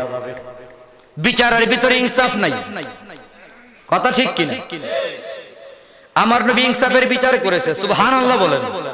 দুই নম্বর বলে ইহসান। আল্লাহ বলে দুই নম্বর বিধান হলো এহসান করো। মাল এহসান জিবরাইল আমিন নবীরে বলে, নবী এহসান কি? এহসান কি আমার নবী বলে, আনতা আবুদাল্লাহ কান্নাকা তারাহু ফা ইল্লাম তাকুন তারাহু ফা ইন্নাহু ইয়ারাক। ইহসান মানে হলো, ইবাদত তুমি এমন ভাবে করো যেন তুমি তোমার মাহবুদকে দেখো। সুবহানাল্লাহ বল, আল্লাহর দেখা দেখা নামাজ পড়ো, আল্লাহরা দেখা দেখা রোজা রাখো, আল্লাহরা দেখা দেখা হজ কইরো, আল্লাহরা দেখা দেখা জাকাত দিও। তুমি যা করতেছ, তুমি তোমার মা বুদ্রে দেখতেছ এমন ভাবে তুমি ইবাদত করো যেন তুমি দেখতেছ। যদি এমন চোখ না বানাইতে পারো, আরে এমন চোখ তুমি বানাইতে পারো নাই, মাহবুদ আছে তুমি বুঝো না, মাহবুদরে তুমি দেখো না। আল্লাহ নবী কই, তাহলে অন্তরটা এমন ভালো করে একইনার বিশ্বাস ভালো করে বানাও। তুমি যা করো না করো, সবাই না দেখল আল্লাহ তোমারা দেখে। ঠিক কি না আরে দোকানে কর্মচারী আছে। মালিক যখন নামাজে যায়, কর্মচারী মাঝে মধ্যে কেসে হাত ঢুকায়, পাঁচশো টাকা নোট পকেটে ঢুকায়। মালিক নাই, চুরি করতে অসুবিধা নাই। মালিক থাকলে কিন্তু সাহস করে না, ঠিক কিনা? মালিক দেখতেছে, কেউ কেসে হাত দেবে। আরে মালিক থাকলে হাত দেবে? মালিক নাই। তাহলে কেসে হাত দেবে না। অথবা মালিক আছে, কর্মচারী দেখতেছে মালিক সামনে। মালিকেরা দেখলেও কিন্তু সহজে হাত দেয় না। কারণ আমি মালিকরা দেখতেছি, হঠাৎ করে মালিক আসতে পারে, তাকাইতে পারে। এখন মালিক নামাজে গেছে। কিন্তু সিসিটিভির ক্যামেরা লাগাই রাখছে। চার পাঁচটা ক্যামেরা, ক্যাশের ভেতরে একটা এক্সট্রা লাগাইছে। ভিডিও হইতেছে। কর্মচারী জীবনে এক পয়সা চুরি করবে? কথা কয় না। কারণ মালিক না দেখলেও মালিকের ক্যামেরা আমার আল্লাহর কি ক্যামেরা লাগে? আল্লাহ এমনি দেখে। জোরে বলেন না? বান্দা, তুমি ইবাদত করার সময় ইয়াকিন করো, আল্লাহ তোমারে দেখে। ইহসান ওয়ালা হও। ইহসানের এই গেল একটা ব্যাখ্যা, আরেকটা ব্যাখ্যা বলা জরুরি। ইহসানের আরেক ব্যাখ্যা হইল ইহসান করো মানে একজন আরেকজনের উপকার করো। কি করো? কি করো?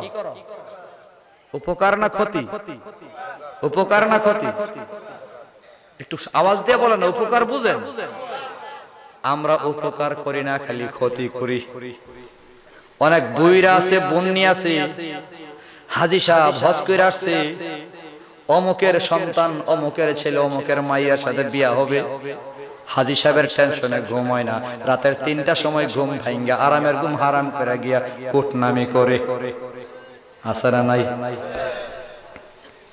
অন্যের ক্ষতি করে, অন্যের ক্ষতি। আল্লাহ বলে, উপকার করো। এক নম্বর সমাধি ইনসাফের বিচার, দুই নম্বর উপকার চালু করো। একজন আরেকজনের উপকার করো ক্ষতি করিও না। আমরা তো মুসলমান, ক্ষতি করতে জানি, উপকার করি না। একজন যদি খাদে পরে, দুইজন ঠেল্লা তারে খাদে ফালাইয়া দেয়। না না, আল্লাহ বলে, মুসলমান, তোমরা উপকার করো। নবী বলে আল মুসলিম হাকুল মুসলিম। মুসলমান, মুসলমানের ভাই। মুসলমান, মুসলমানের ভাই। ভাই ভাইয়ের ক্ষতি করবার পারে না। ভাই ভাইয়ের উপকার করবে। আরে সাহাবাই কারাম ছিল মুসলমান, তারা কেমন উপকার করেছে সাহাবাই কেরামের জমানার খবর নিয়ে দেখো। খলিফাতুল মুসলিমিন ওমর রাদি আল্লাহ আনহুর জমানায় এক যুবক মদিনা থেকে সাড়ে তিনশত মাইল পথ দূরে ঘুরাই বা উঠে সোয়ার হইয়া, নিজের একটা উঠে সোয়ার হইয়া মদিনার দিকে রওনা হয়েছে। আমার নবীর রওজাই সালাম জানাবে। দুই শত মাইল পথ পাড়ি দিয়া ক্লান্ত শ্রান্ত শরীর দুর্বল হয়ে গেল উটো দুর্বল হয়ে গেল। যুবক মনে মনে ভাবে একটু আরাম করা দরকার। আরাম করব কোথায়? তাকিয়ে দেখি বিশাল একটা খেজুর বাগান দেখা যায়। খেজুর বাগানের একটা গাছের গোড়ায় উঠের বাইধা আর একটা গাছের গোড়ায় যুবক ঘুমায় গেল। উঠ নিজের বাঁধন টান দিয়া ছিঁড়ে খুলে বাগানের ভিতরে ঘুরতেছে, পাইচারি করতেছে। নতুন নতুন চারা গাছগুলা উটের পায়ে পরে পিষে যাচ্ছে, নষ্ট হইতে আছে। ফজর নামাজের পর ওটের ফজর নামাজের পর বাগানের মালিক বাগান দেখবার আসছে। আইসা দেখে একটা উঠ হাঁটতে আছে। নতুন চারা গাছগুলা নষ্ট হইতে আছে। মুরব্বী চাচার মেজাজ একটু গরম হয়ে গেল। উঠ কার রে? লোক পাওয়া যায় না, মালিক পাওয়া যায় না। পাথর একটা হাতে নিয়ে জোরে ঢিল মারছে। যা ও ছড়িয়া যা, আল্লাহর কুদরত বুঝা বড় কঠিন। ঢিল পড়ে গেছে, মাথার চারাই ফাইটা, রক্তক্ষরণ হইতে হইতে অল্প সময়ের ভেতরে উট মারা গেছে। উট ময়রা পয়রা রইছে। ওই দিক দিয়ে যুবক সূর্যের কিরণ গায়ে লাগছে। সূর্যের হিটে তার ঘুম ভাঙ্গা গেছে। ঘুম থেকে উইটা তাকায় দেখে গাছের গোড়ায় উঠ নাই। উঠ গেল কয় উঠ গেল কয় উটের তালাশ করবার জন্য বাগানের ভিতরে গিয়ে ঘুরতে ঘুরতে তাকিয়ে দেখে উট ময়রা পয়রা রয়েছে পাশে একজন মুরব্বী বাজান দাঁড়িয়ে আছে চাচারি, আমার উঠকে মারছে। কই বাজান, আমি একটা পাথর দিয়ে ঢিল মারলাম উঠটা মরে গেছে। তবে আমি যাই নাই, কারণ উঠ হলো বান্দার হক। আমি মালিক তালাশ করতে আছি। মারা যেহেতু গেছে, বিনিময় কিছু টাকা পয়সা দিয়া দেব। যুবকের মেজাজ তো গরম একে পেটে খিদা, আবার হইল দেড়শত মাইল পথ দূরে হইল মদিনা, দুইশো মাইল পথ দূরে হলো বাড়ি। মাঝখানে আমি আটকা পড়ে গেলাম, কেমনে যাব, কোথায় যাব, কি করব? মেজাজ এত গরম হইল, মুরব্বীর পাল্টাম মারা শুরু করছে, এমন মাইর পড়ছে, আল্লাহর কুদরত মুরব্বীও দুনিয়া থেকে বিদায় হয়ে গেছে। মুরব্বী যখন মারা গেল, এবার যুবক মনে মনে ভাবেন এখন যদি এখানে থাকি, পুলিশ, আর্মি, বিডিআর আমারে গ্রেফতার করবে। আইন হলো খুনের বদলে খুন আমার তো মৃত্যুদণ্ড হয়ে যাবে। ভাগা দরকার ভাগা দরকার, পরক্ষণেই অন্তরে পরক্ষণেই অন্তরে জাগনা দিয়েছে মালিক ইয়াউমিদ্দিন। আল্লাহ তো বিচার দিবসের মালিক। ওই দিন ওই দিন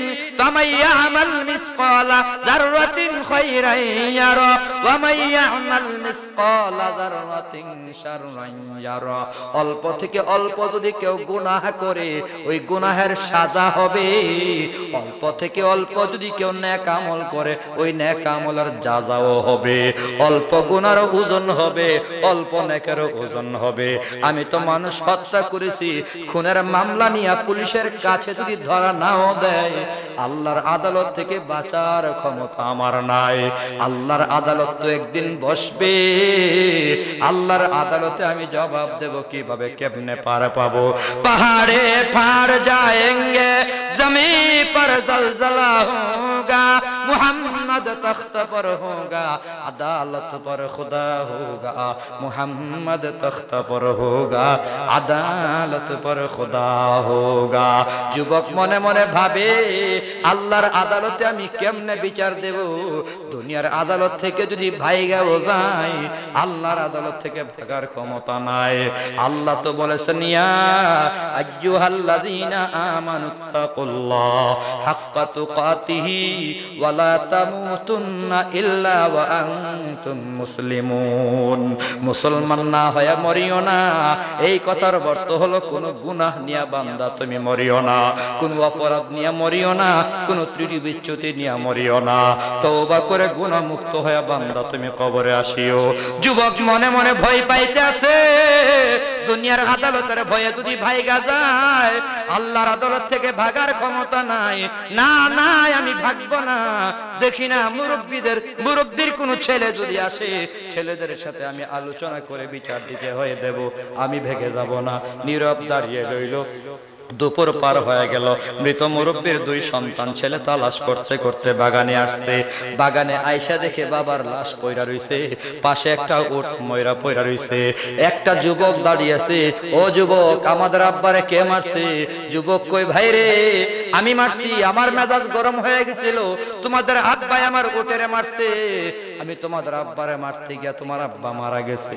তবে আমি ভাগি নাই তোমরা আইন হাতে নিও না। একটা কাজ করো, ওমর রাদিয়াল্লাহু দরবারে যাব।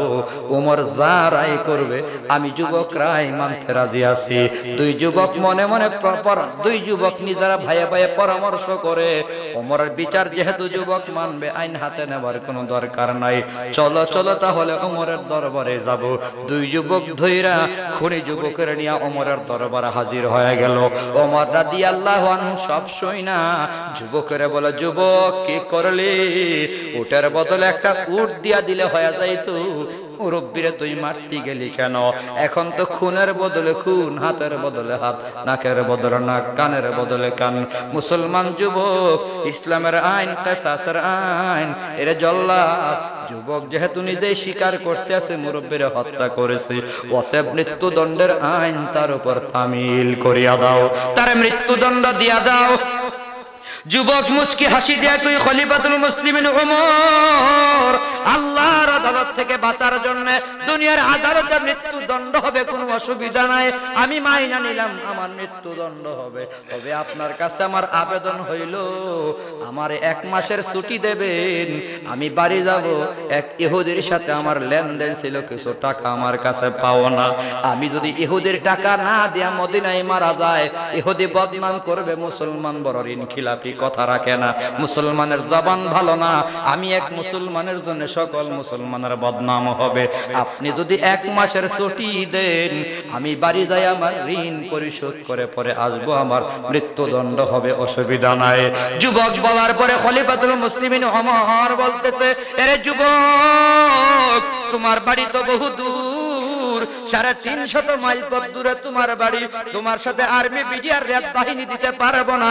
যদি তুমি না আসো, তোমার কেউ আনতেও পারবে না। অতএব তুমি তোমার একজন জিম্মাদার, জামিনদার দাঁড় করায় যাও। তোমার জামিনদার যদি কেউ হয় তোমার ছুটি দেওয়া যাবে। যুবক চোখের পানি ছেড়ে বলে অমর মদিনায় আমি নতুন।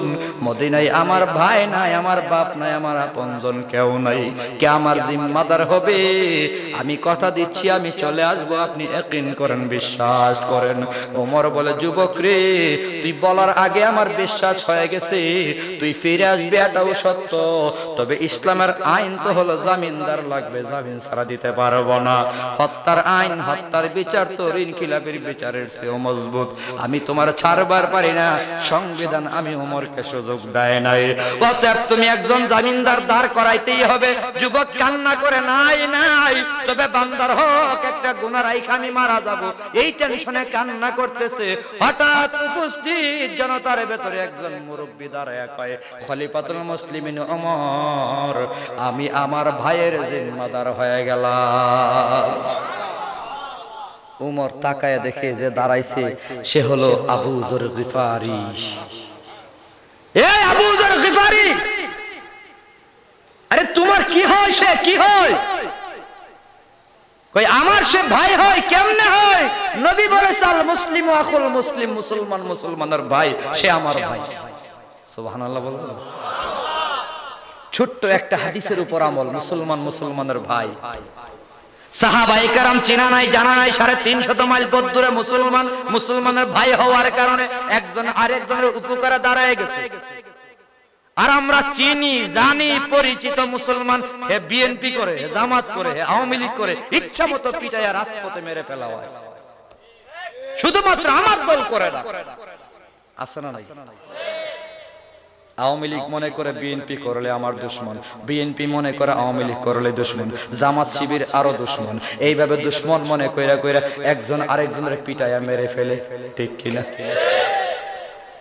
কি আজীব দেশ। মানুষকে মানুষ পিটাচ্ছে মারছে গুলি করছে কুবাচ্ছে আর কিছু মানুষ ভিডিও করছে মায়া নাই দেড় হাজার বছর আগে নবী বলে আল মুসলিম আকুল মুসলিম। আমি বলি, প্রত্যেকটা মুসলমানের দিলের ভেতরে একটা হাদিসের আমল ঢুকাও।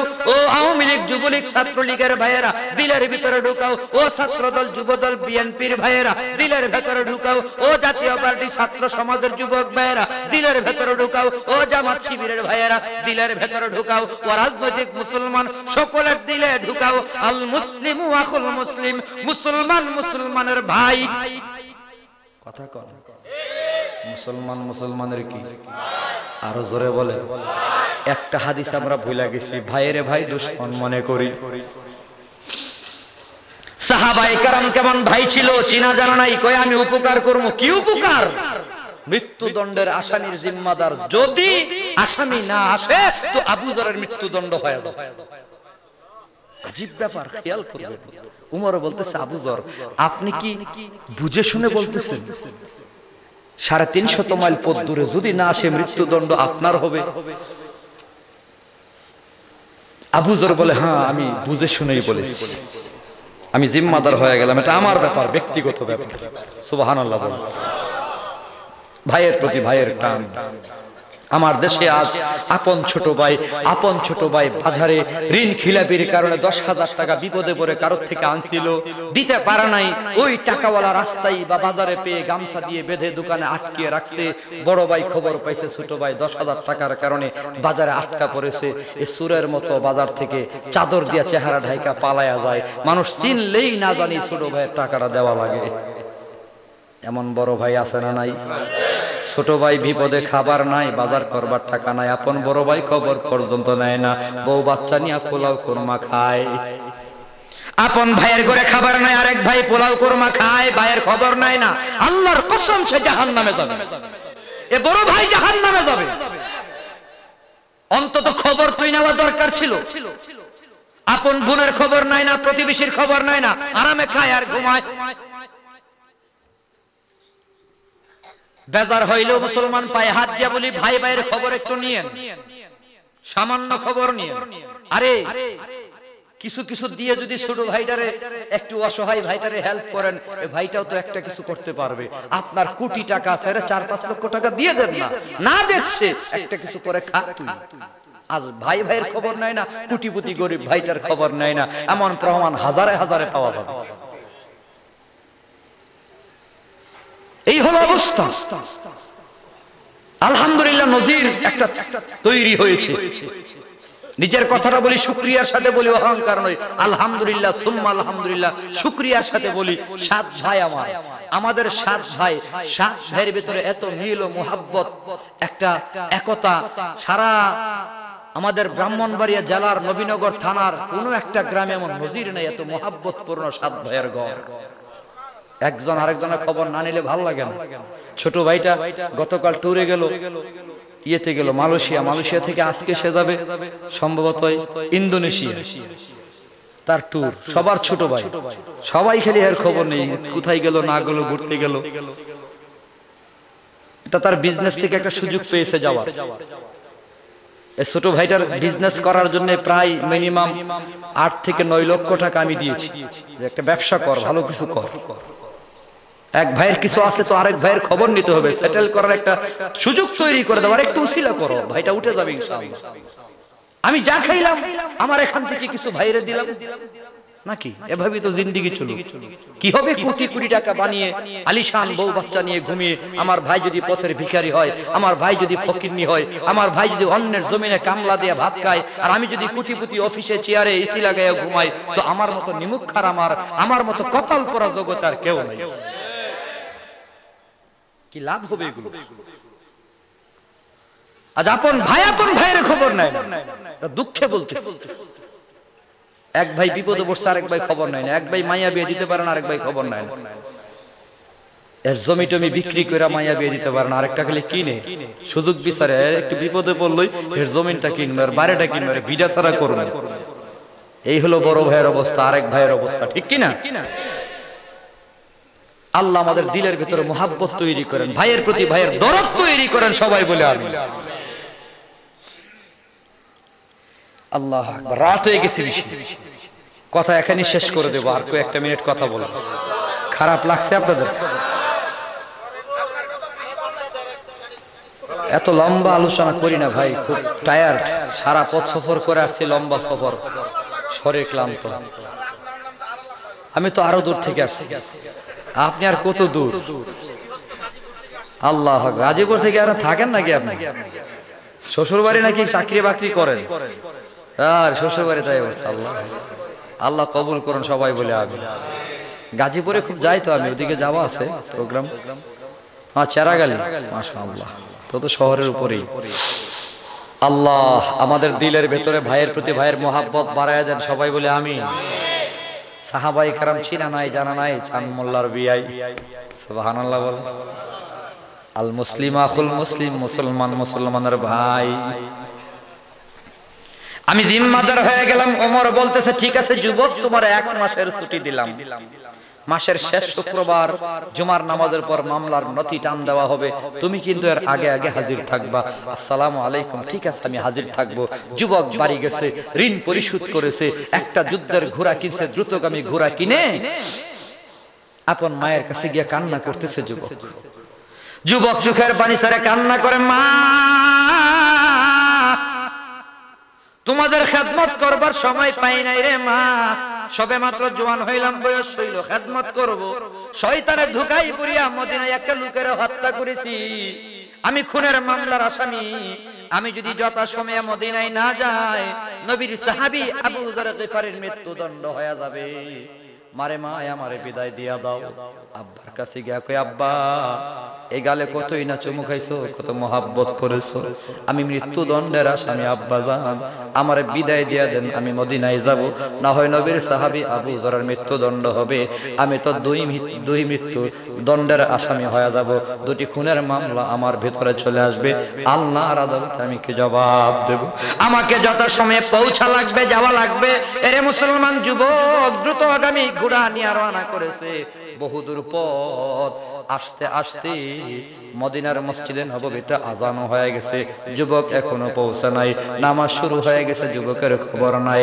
জামা নামাজের পর ওমর রাদিয়াল্লাহু আনহু সিংহাসনে বৈশা মামলার নথি টান দিয়েছেন। এই মামলার নথি টান দেয়া কয়, কিরে, মামলার বাদী দুই সন্তান হাজির। লাব্বাইকে আমির আল মুমিনিন, আমরা হাজির হয়ে গেলাম। এই মামলার আসামি যুবক হাজির। জাল্লাদ কই না না, মূল আসামি এখনও হাজির হয় নাই। আবু জর হাজির লাব্বাইক আবু জর হাজির আমিরুল মুমিনিন দিলটা নরম হয়ে গেছে, জবান এবার নরম হয়ে গেছে।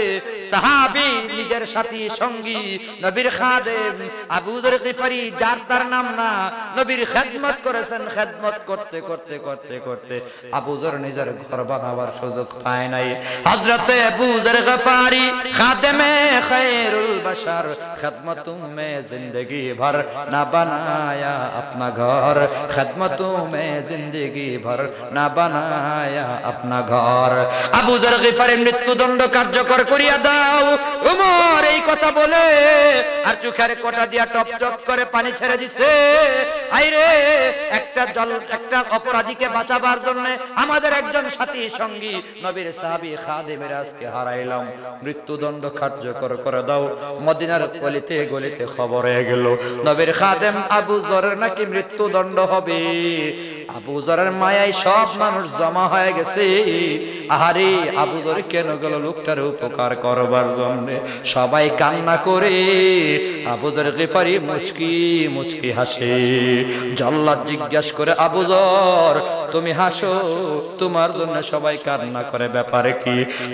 বলে, জল্লাদ রে, আমার কেন জানি মন বলতেছে, নবীর একটা উম্মতকে আমি বিপদ থেকে বাঁচাইছি। হাসরের দিনে নবীও আমার বিপদ থেকে বাঁচাইয়া দেবে। আমি তো আমার সুখের অবস্থার খবর পাইয়া হাসি। এরে মুসলমান আবুদের গিফারের মৃত্যুদণ্ড হবে, সবাই কান্না করে, হঠাৎ করে মৃত্যুদণ্ড হয়াই যাবে। এমন সময় একজন মুরব্বী ডাক দেয়া অমর, একটু থামো, তাকা দেখো, মদিনার ধুলা বালি উড়াইয়া ওই যুবক হাজির হয়ে গেছে। চিৎকার মেরে বলুন, আল্লাহু আকবার! খলিফাতুল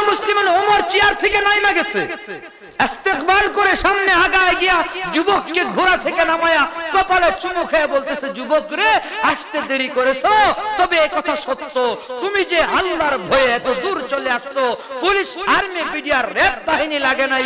নিজে নিজেই শুধুমাত্র কবরের ভয়ে, আল্লাহর আদালতের ভয়ে তুমি ফিরে আসছো। তুমি তোমার বিচার নিজে দেওয়ার জন্য, নিজের বিচার নিজে প্রতিষ্ঠা করার জন্য, এই পর্যন্ত তুমি এসেছ। আমার বিশ্বাস, আল্লাহ তোমার তওবা কবুল করেছে, তোমার জীবনের আমল নামাই কোনো গুনাহ নাই। তুমি বেগুনা মাসুম। তবে ইসলামের আইন, খুনের বদলে খুন আমাকে আইন তামিল করা লাগবে। উমর বুঝতেছে ছেলেটা আল্লাহওয়ালা বুজুর্গ, না হয় এভাবে আসতো না। আমার দেশে কত ধানসুর, গমসুর, রাস্তার টাকাচুর ব্যাংকের টাকাচুর, পাসপোর্ট, ভিসা সব রেডি করে রাখছে। যেই মাত্র ক্ষমতা স্লিপ করবে কানাডা ওরাল। ঠিক কিনা? ভিসা রেডি কানাডা বাসা ভাড়া সব ঠিকঠাক করা আছে। খবর নিলে তদন্ত করলে পাবেন। পাও স্লিপ করবে আর উড়াল মারবে। কোটি টাকা নিয়ে সুইস ব্যাংকে জমা করেছে। আগেও চোর ছিল এখনও আছে। এই চোরগুলো থেকে দেশটাকে আমাদের ঐক্যবদ্ধ হয়ে বাঁচাতে হবে। আল্লাহ। যুবক নিজের বিচার নিজে দিতে আসছে। ওমর বলতেছে, তোর গুণা নাই। জল্লাদ আবুদরকে নামায়া যুবকের মৃত্যুদণ্ড কার্যকর করে দাও। ইসলামের আইন তো আমার বাস্তবায়ন করা লাগবে।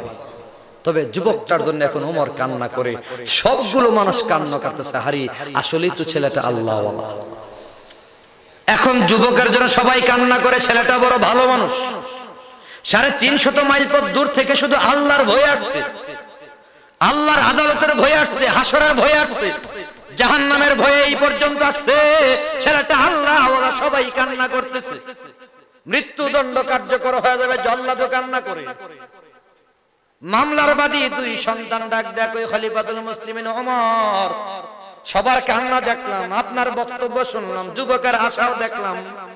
খলিফাতুল মুসলিমিন ওমর, আমাদের দুটি কথা ছিল, কি কথা? কেমন? আল্লাহ বলা যুবকের মৃত্যুদণ্ড হবার পারে না। আমরা মামলার বাদী, আমরা বাবার পক্ষ থেকে ক্ষমা করে দিলাম। তারে আমাদের আপন ভাই বানায়া দে। তো বলতেছিলাম, উপকার কারে বলে?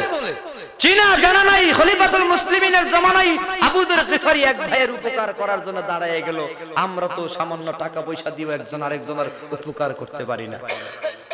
সমাজের ভিতরে দুই নম্বর নিয়ম চালু করেন, একজন আরেকজনের ক্ষতি করব না, পারতপক্ষে উপকার করব।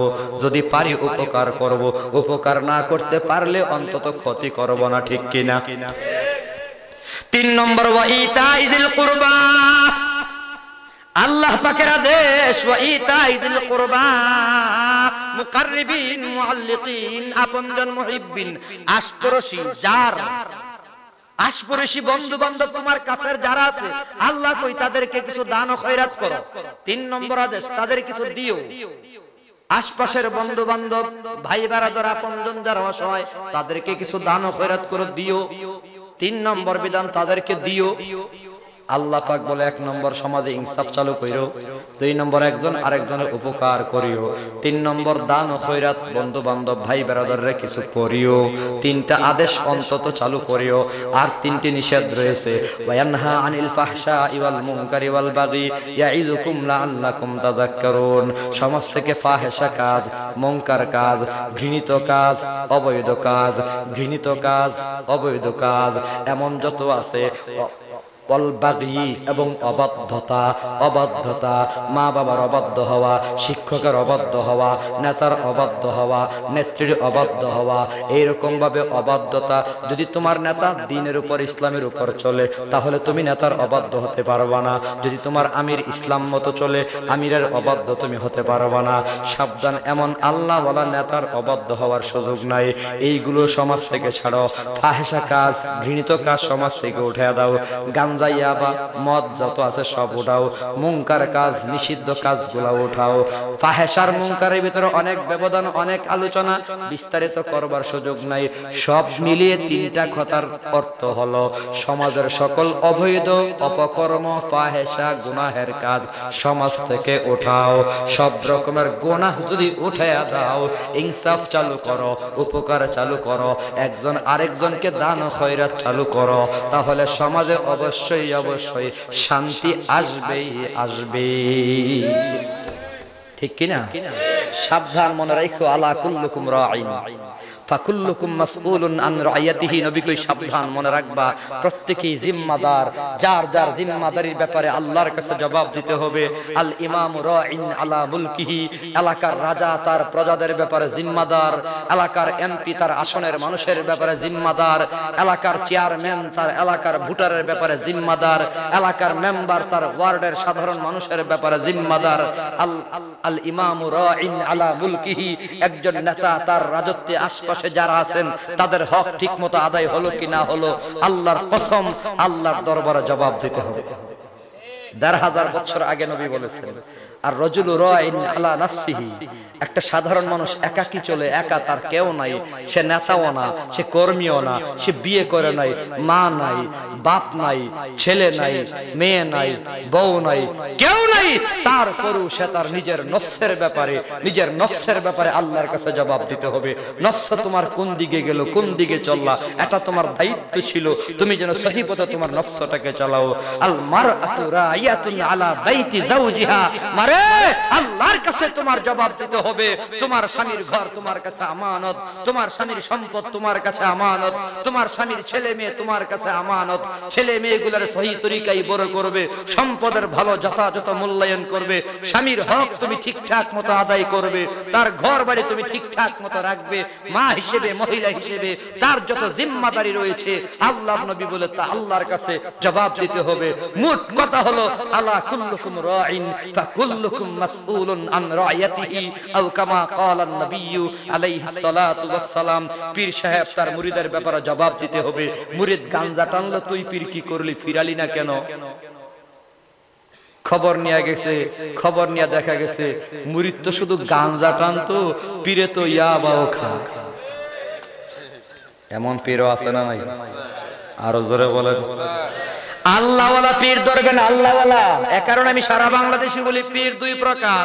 এক দল হইল আল্লাহওয়ালা, আরেক দল হইল গাঞ্জাওয়ালা। আল্লাহওয়ালা দৌড়বেন, গাঞ্জাওয়ালার জুতা দিয়া বাইরে আইবে। রাজি আছেন? কোন কোন পীরের কারণে এলাকায় গাঞ্জার সরাসরি। একটা গানের আয়োজন করে বাউল গানের আসর দিছে, আশপাশে গাঞ্জার আসর, জুয়ার আসর, নারী পুরুষের অবাধ মেলামেশার আসর জমে। ঠিক কিনা সহি আল্লাহওয়ালা পীরের হাতে বয়াত হবেন ইনশাআল্লাহ। ভাইয়ের, আমার ইমাম সাপ্তার মুসল্লির ব্যাপারে জিম্মাদার। এভাবে যাকে আল্লাহ যেই পজিশনে জিম্মাদারি দিয়েছে নেতৃত্ব দিয়েছে প্রত্যেকের সকল নেতৃত্বের ব্যাপারে তার নেতৃত্বের ব্যাপারে আল্লাহর কাছে জবাব দিতে হবে। আল্লাহ আমাদের এলাকার ভেতরে এই সমাজের ভিতরে সব রকমের গুনাহ অন্যায় ফাহাসা মুনকার কাজ অবাধ্যতা এলাকা থেকে বের করে এলাকার ভিতরে ইনসাফ প্রতিষ্ঠা একজন আরেকজনকে উপকার করবে এবং দিল তৈরি করা এবং মানুষকে দান ও খৈরাত করব এমন মন তৈরি করার তৌফিক আল্লাহ আমাদের সব ভাইকে দান করুন সবাই বলি আমিন। আবার যদি আসমান থেকে ফয়সালা হয়, আল্লাহ পাক আনন্দ দেখা হবে, বয়ান হবে দোয়া চাই সকলের কাছে। দীর্ঘ প্রায় দুই ঘণ্টার মতো আলোচনা হয়েছে। আল্লাহ পাক আমাদেরকে সহি কথাগুলোর উপর আমল করার তৌফিক দেন। ভুল কথাগুলো ক্ষমা করেন। মাহফিল কিয়ামত পর্যন্ত কবুল করেন। ওয়া আখিরু দাওয়ানা আনিল রাব্বিল আলামিন। সকলে সকলের জন্য একটু দোয়া করে দিই। বিসমিল্লাহির রহমানির রহিম।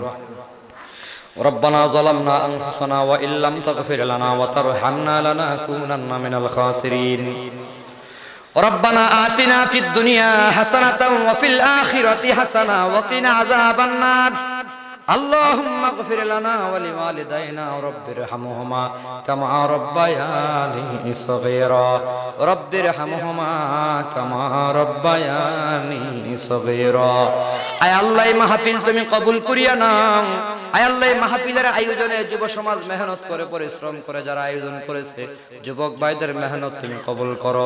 যারা টাকা পয়সা দিয়া বিভিন্ন রকমের পরামর্শ দিয়া সহযোগিতা করিয়া আইসা বৈশা বয়ান সইনা বয়ান করিয়া মাহফিলকে সফল করার চেষ্টা করেছে। আল্লাহ, প্রত্যেকটা বান্দা বান্দির নাম তুমি জান্নাতের লিস্টে লিখিয়া দাও। আয় এলাকার ঘরে ঘরে খাস রহমত, বরকত দান ফরমাও। আমাদের ছেলে মেয়েগুলা থেকে ছেলে মেয়েগুলারে মাদক থেকে আল্লাহ বাঁচাইয়া দাও। সমাজের সব অপকর্ম, অবৈধ কর্ম থেকে বাঁচাইয়া দাও। আল্লাহ, পুরো দেশের ভিতরে রহমতার বরকত দান করিয়া দাও। সরকারি দল, বিরোধী দলের ভিতরে মিল মহাব্বত ঢুকাও। যুবকদের মাঝে যারা বেকার, চাকরি বাকরি, ব্যবসা বাণিজ্যের ব্যবস্থা করিয়া দাও। যারা চাকরি করে, ব্যবসা বাণিজ্য করে, কামাই, রোজগারে, বরকত দিয়া দাও। আয় আল্লাহ, পড়াশোনা করে পরীক্ষার্থী ছেলে মেয়েদেরকে পরীক্ষায় ভালো ফলাফল করার তৌফিক দিয়া দাও। আয় আল্লাহ, আমাদের এই এলাকার ভিতরে খাস রহমত আর বরকত ফরমাও। আইম্মাই মাসিদ মাসাজিদান, মাসাজিদিনদের কবুল করিয়া নাও। আসাতিদাই কারাম আজিজ তোলাবাদের কবুল করিয়া নাও। আয় আল্লাহ, ভণ্ড বেদাতি পীর থেকে আমাদেরকে বাঁচায়া আল্লাহ ওয়ালা পীর পাওয়ার তৌফিক দিয়া দাও। আয় আল্লাহ, সব রকমের ঝগড়া, বিবাদ, ফেতনা, ফাসাদ থেকে বাঁচাও। পুরো দেশটারে বাঁচাও, পুরো দেশের বাঁচাও। দেশের ষোলো কোটি মানুষের ভেতরে দিনের মহব্বত, দেশের মহব্বত দেশের মহব্বত ঢুকাও আয় আল্লাহ আমরা যারা হাত বাড়াইছি তাকে দেখো। কার আব্বাজান অন্ধকার কবরে ঘুমায় গেল। আব্বা নাই, কতদিন হয়ে গেল আব্বা? আব্বা বলে ডাকে না রে মালিক, আব্বার চেহারা দেখে না, আব্বার ঘর আছে, আব্বা নাই, আব্বার বাড়ি আছে, আব্বা নাই। আয় আল্লাহ, এতিম সন্তানগুলার আব্বার কবর তুমি জান্নাতের টুকরা বানায়া দাও। আয় আল্লাহ, কার জানি মা নাই, কতদিন হয়ে গেল আম্মা? আম্মা বলে ডাকে না রে মালিক, মেহরবানি করে দিম আম্মা গুলোর কবর জান্নাতের টুকরা বানায়া দাও যাদের আব্বা আম্মা বেঁচে আছে হায়াত বাড়ায়া দাও মা বাবার খেদমত করবার তৌফিক দিয়া দাও আমাদের মাহফিলের পক্ষ থেকে আমাদের পক্ষ থেকে কোটি কোটি কোটি কোটি দরুদ ও সালাম তোমার হাবিবের রওজা থারে পৌঁছায়া দাও ربنا تقبل منا إنك أنت السميع العليم وتب علينا يا مولانا إنك أنت التواب الرحيم سبحان ربك رب العزة عما আম্মা ইয়াসিফুন ওয়া সালামুন আলাল মুরসালিন, ওয়ালহামদুলিল্লাহি রাব্বিল আলামিন। আমিন বিহাক্কি লা ইলাহা ইল্লাল্লাহ মুহাম্মাদুর রাসূলুল্লাহ।